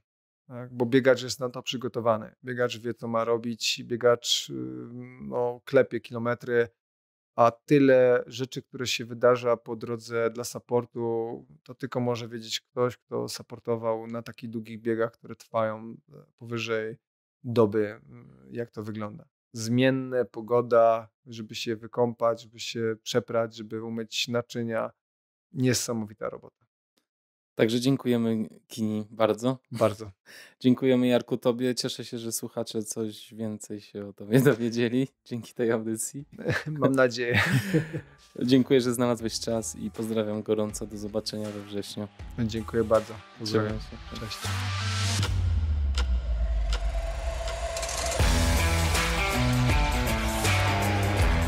Postanowiłem, że na zakończenie przytoczę kilka słów od Kingi, która napisała piękny post na Facebooku. Posłuchajcie. Minęło już parę dni od zakończenia projektu GSB, a ja wciąż wracam wspomnieniami do tamtych dni. Te kilka dni to zupełnie inny wymiar rzeczywistości, postrzeganej przez wielu, niezwiązanych ze środowiskiem ultra, jako czyste szaleństwo. Ale ja to też rozumiem, bo w rzeczy samej tak jest. Pewnie Jarek w ciągu najbliższych dni sam napisze, jak to wyglądało w jego odczuciu, ale ja go wyprzedzę i napiszę, z czym się spotkałam, kompletnie się tego nie spodziewając, a już na pewno nie w takim rozmiarze. Podczas tych czterech dni wsparcia Jarka nie sądziłam, że tak mocno zaangażuję się w ten projekt. Rozmawialiśmy wiele na ten temat z Jarkiem, wiedziałam, co mam robić i na co zwracać uwagę. Znam go na tyle, że potrafię czytać w jego myślach, albo tak mi się wydaje, i w końcu sama biegam, więc wiem, na co zwracać uwagę. Miałam swoje trzy priorytety: zadbać o Jarka, Foresta, naszego psa, i zrealizować swoje treningi. Nie udało się zadbać o wszystko. Moje treningi przez te cztery dni zeszły na dalszy plan. Można powiedzieć, że do połowy zrealizowane. Forest też pewnie miał zamiar więcej pobiegać, ale nie wszędzie było to możliwe. Za to zobaczył się ze swoimi starszymi psimi kolegami. GSB to dla mnie historia nie tylko o przemierzaniu czerwonego szlaku w jak najszybszym czasie, o złamaniu 100 godzin. Z mojego punktu widzenia to strefa, gdzie takie wartości jak zwyczajna przyjaźń, Nadzwyczajna chęć wsparcia Jarka i mnie przerosły oczekiwania i jeszcze bardziej podkreśliły to, co dla mnie jest istotne w życiu. Dziękuję za każdy rodzaj wsparcia, za to, że byliście ze mną i stawaliście na głowie, żeby mi pomóc, że towarzyszyliście Jarkowi na trasie. Dziękuję Aga i Pablo za cały pierwszy dzień, za to, że mogłam być w waszej chacie i natchnąć przygotowywane jedzenie dobrą energią, za to, że opiekowaliście się Forestem, Krzysiek, dziękuję za to, że w środku nocy odholowałeś mnie z Przybyszowa z niewiarygodnej ilości błota i przekreśliłeś moją wizję pozostania tam. Dziękuję Wojtek za wsparcie Jarka na trasie na tak długim odcinku, że pomogłeś mu przetrwać kryzys. Fajnie, że choć przez chwilę mogłam biec z wami. Dziękuję Mariusz, że przyjechałeś po 24-godzinnym dyżurze z niewielką przerwą, a potem odbyłeś długą podróż z Poznania do Zdyni. Bałam się, ale cieszyłam, że będziesz. Dziękuję za dłuższe rozmowy, przystanek w Łącku, który pomógł mi uniknąć mandatu ale też pyszną kawę, której tak bardzo mi brakowało. I za to, że przez chwilę mogłam spać spokojnie. Dziękuję Natalia i Jarek za mega wsparcie i za gościnność w waszym kamperze, za to, że byliście blisko i zawsze jesteście w ważnych dla nas momentach. To skarb. Dziedziuś w twoim brzuszku, mimo tego, że dopiero za niecałe dwa miesiące powinien być z nami, to myślę, że równie mocno to wszystko z nami przeżywał. Wasze poświęcenie nadało większy wymiar temu wydarzeniu. Dziękuję Marcin, Marek i Jacek, że dołączyliście do nas i towarzyszyliście nam w tej pięknej drodze. Na chwilę przed waszym spotkaniem Jarek zapytał mnie na szczycie Lubania, czy zostanę z nim na zawsze, a może nawet na dłużej. Odpowiedziałam tak. Dziękuję Sebastian, że dojechałeś, że znalazłeś dla nas czas i dostosowałeś się jak mogłeś, że użyczyłeś mi swoje auto na krótką drzemkę, że pociągnąłeś Jarka szybciej – za te nocne rozmowy w Jordanowie i chwilę później z Wiesiem. Dziękuję Sabina i Mirek oraz Wiesiu, że biegliście z nim w środku nocy, momentami w strugach deszczu. Dziękuję Romek i Michał, że towarzyszyliście Jarkowi w najtrudniejszym odcinku całej trasy. Myślę, że to Jarkowi dodało skrzydeł. Dzięki Marcin, że ze względu na trochę niespodziewaną nawierzchnię terenu zamieniłeś się butami z Jarkiem. Dobrze, że macie taki sam rozmiar. Dziękuję Karolina, Zocha i Michał że tak pozytywnie mnie zaskoczyliście, po prostu spontanicznie. Tak bardzo zależało wam, żeby nam pomóc, że byliście blisko nas i przyjechaliście z tak daleka. Wzrusz. Dziękuję za piękne zdjęcia, za zaangażowanie, za to, że Zocha wzięła w swoje ręce Foresta, że biegła z nami z samego rana te ostatnie 8 kilometrów w lekkim deszczu, że bluza, w której biegła, postanowiła, że to będzie pamiątka, której nie należy prać. Dziękuję Janek. Twój telefon również spowodował u mnie wzruszenie. Wiem teraz, jakie to wszystko było dla mnie ważne i jaką ogromną porcję energii w tym samym od Was otrzymałam. Już nie wspomnę o Jarku. Karolina i Janek, Wasze kadry wspaniale opisują tę historię. Dziękuję wszystkim, którzy tak mocno wspierali nas zdalnie, a było tych osób wiele. To jest obraz tego, jakich wspaniałych i jak dla mnie wyjątkowych ludzi mamy blisko. Wiem, że niektórzy bardzo chcieli być z nami, ale czasami jest to fizycznie niemożliwe. Myślę, że te podziękowania napisałam w dużym skrócie. Mam nadzieję, że niczego nie pominęłam, choć na pewno nie wspomniałam o tym, jakie pyszne przywoziliście ze sobą rzeczy do jedzenia. W końcu gratuluję Ci, Rafał, mój przyjacielu. Cieszę się, że tam się spotkaliśmy. Cieszę się, że Wasze podejście pokazało piękno sportu, pokazało to, co w życiu naprawdę się liczy.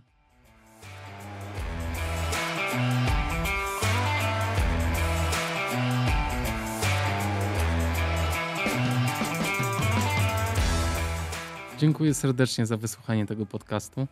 Podcast ten można wspierać w mediach społecznościowych, udostępniając informacje o nim w postach, relacjach i na tablicach, ale przede wszystkim podcast ten funkcjonuje dzięki mentalnemu i finansowemu wsparciu słuchaczy.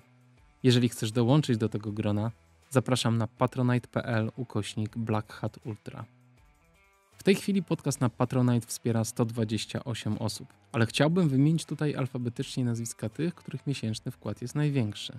Są to Agnieszka Barczyk, Krzysztof Bednarz, Adam Bogdał, Magdalena Czernicka, Agnieszka Dudek, Andrzej Gąsiorowski, Krzysztof Grzenda, Bieta Chryń-Morawska, Michał Janiak, Tomasz Kacymirow, Paweł Kaczmarek, Szymon Kubicki, Agnieszka Łęcka, Marek Maj, Wojtek Mąka, Agnieszka Minitti, Wojciech Pietrzok, Marcin Stefaniak, Marzena Stanek, Przemysław Strąg i Edyta Winnicka.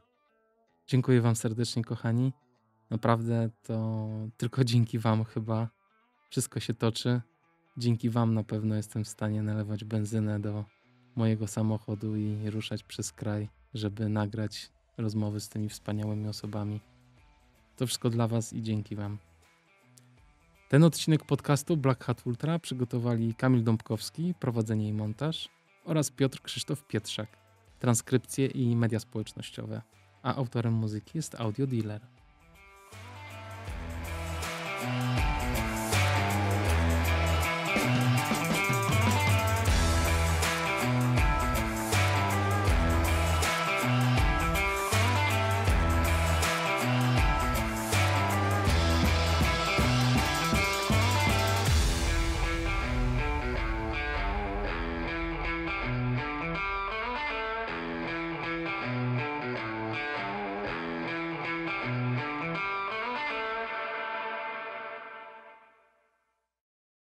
Jeżeli jeszcze tu jesteś,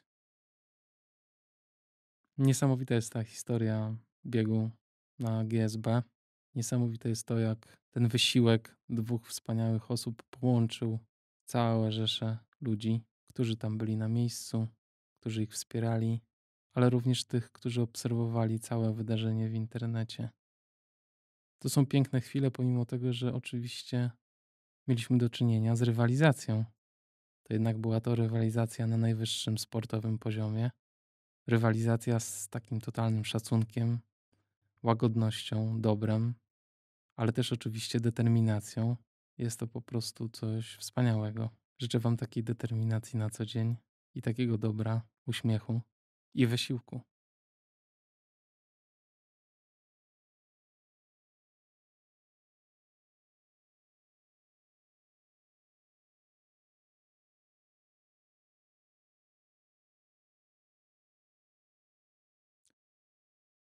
Jeżeli macie chwilę, zamknijcie oczy.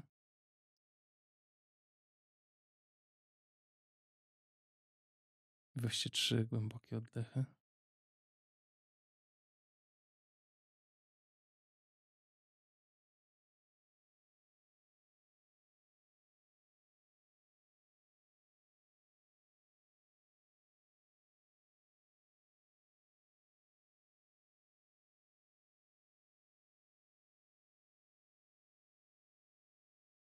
Opowiadaliśmy o GSB, więc dzisiaj będzie długo.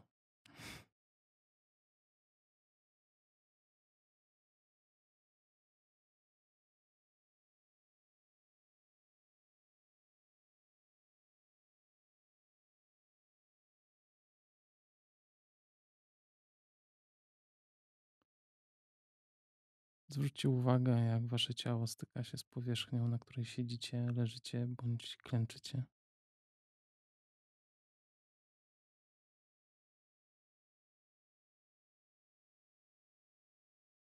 Co odczuwa wasze ciało? Prześledźcie swoją uwagą całe ciało od czubka głowy przez czoło, nos, okolice ust, brodę, szyję, ramiona. Powoli skanujcie całe ciało w dół.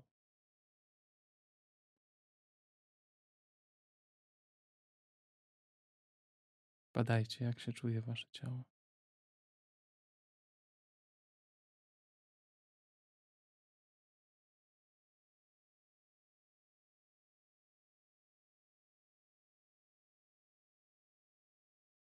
Czy znajdujecie jakieś miejsca, które was bolą?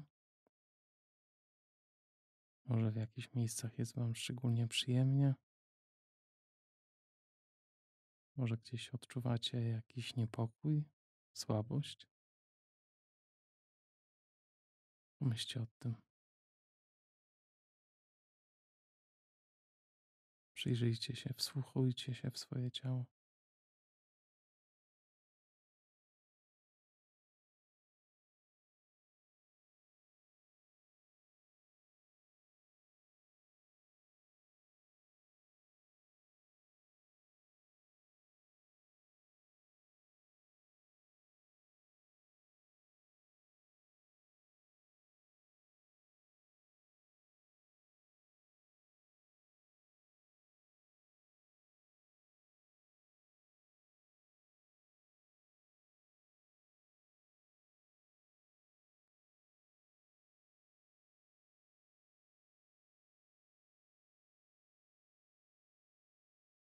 Teraz powoli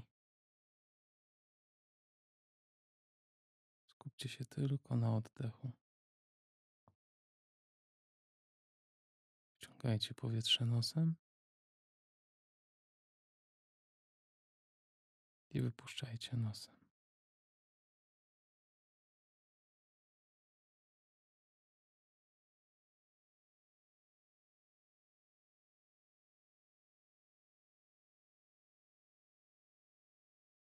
Zaobserwujcie, jak powietrze pracuje w waszym ciele.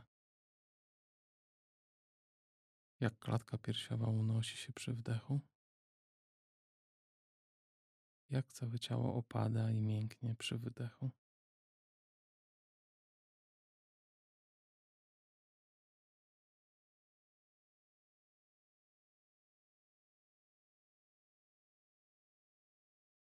Oddychajcie równo, spokojnie, swoim tempie. Nigdzie się nie spieszcie ani nie zwalniajcie specjalnie. Zwracajcie uwagę na to, jak czuje się wasze ciało, gdy oddychacie.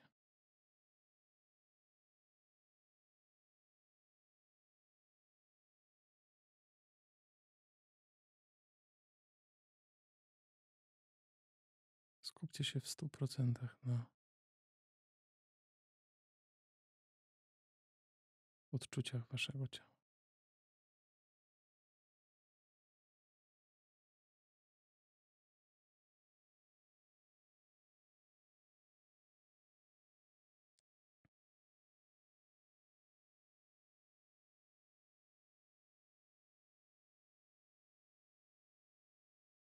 Jeżeli wasze myśli odpłyną, a głowa zacznie myśleć o czymś innym.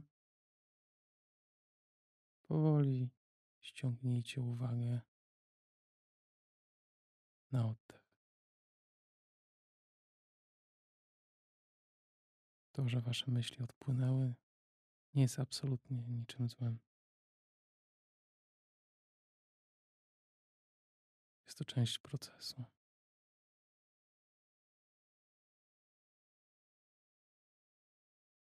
Wróćcie do oddechu.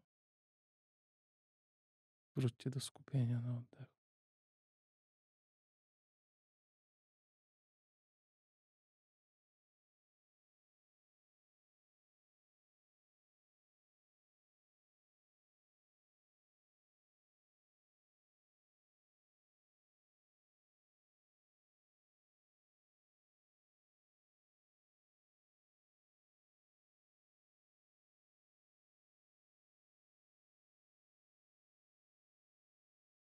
Każdym wydechu jest taki moment, ułamek sekundy,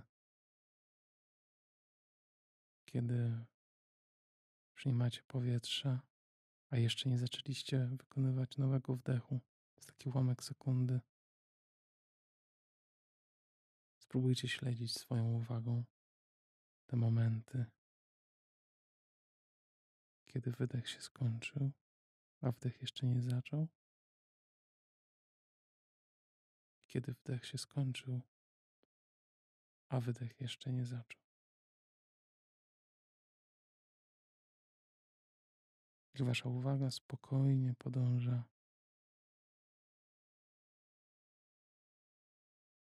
przez cały ten cykl oddechu.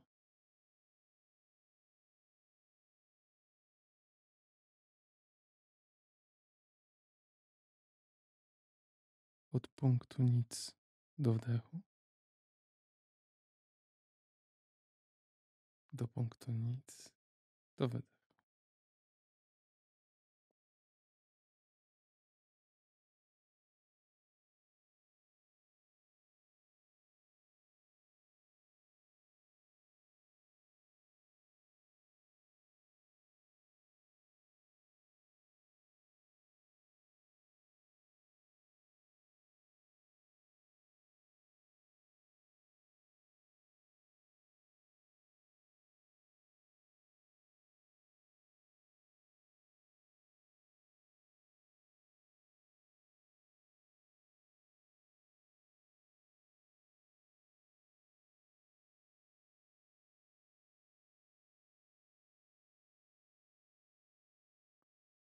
Jeżeli Twoja głowa gdzieś odpłynęła,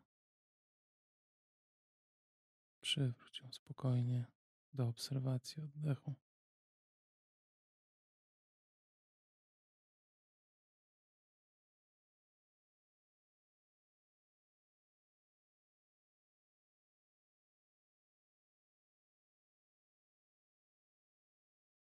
Przez chwilę staraj się myśleć o tym tylko, co jest tu i teraz.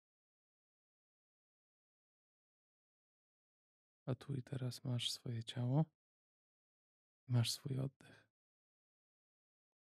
Pracuj z nim chwilkę. Niech Twoja głowa odpocznie.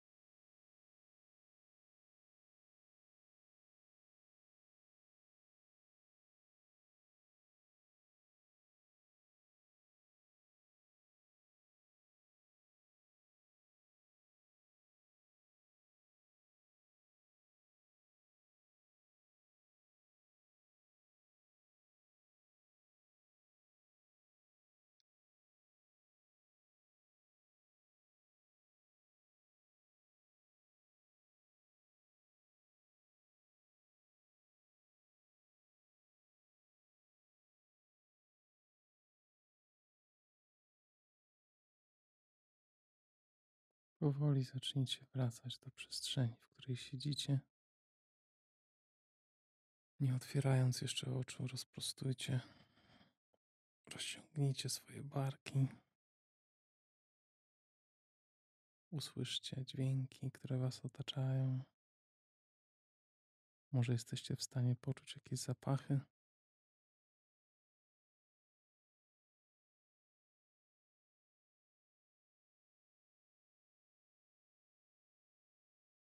Teraz powoli otwórzcie oczy.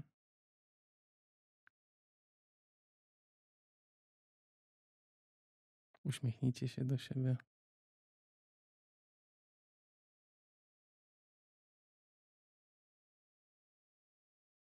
Fajnie, że popracowaliśmy razem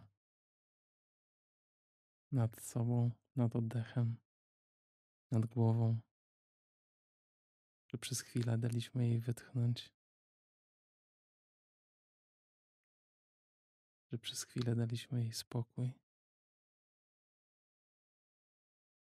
że przez tę krótką chwilę nie krążyła i nie myślała o wszystkim. Ściskam Was mocno i do usłyszenia następnym razem. Buźka.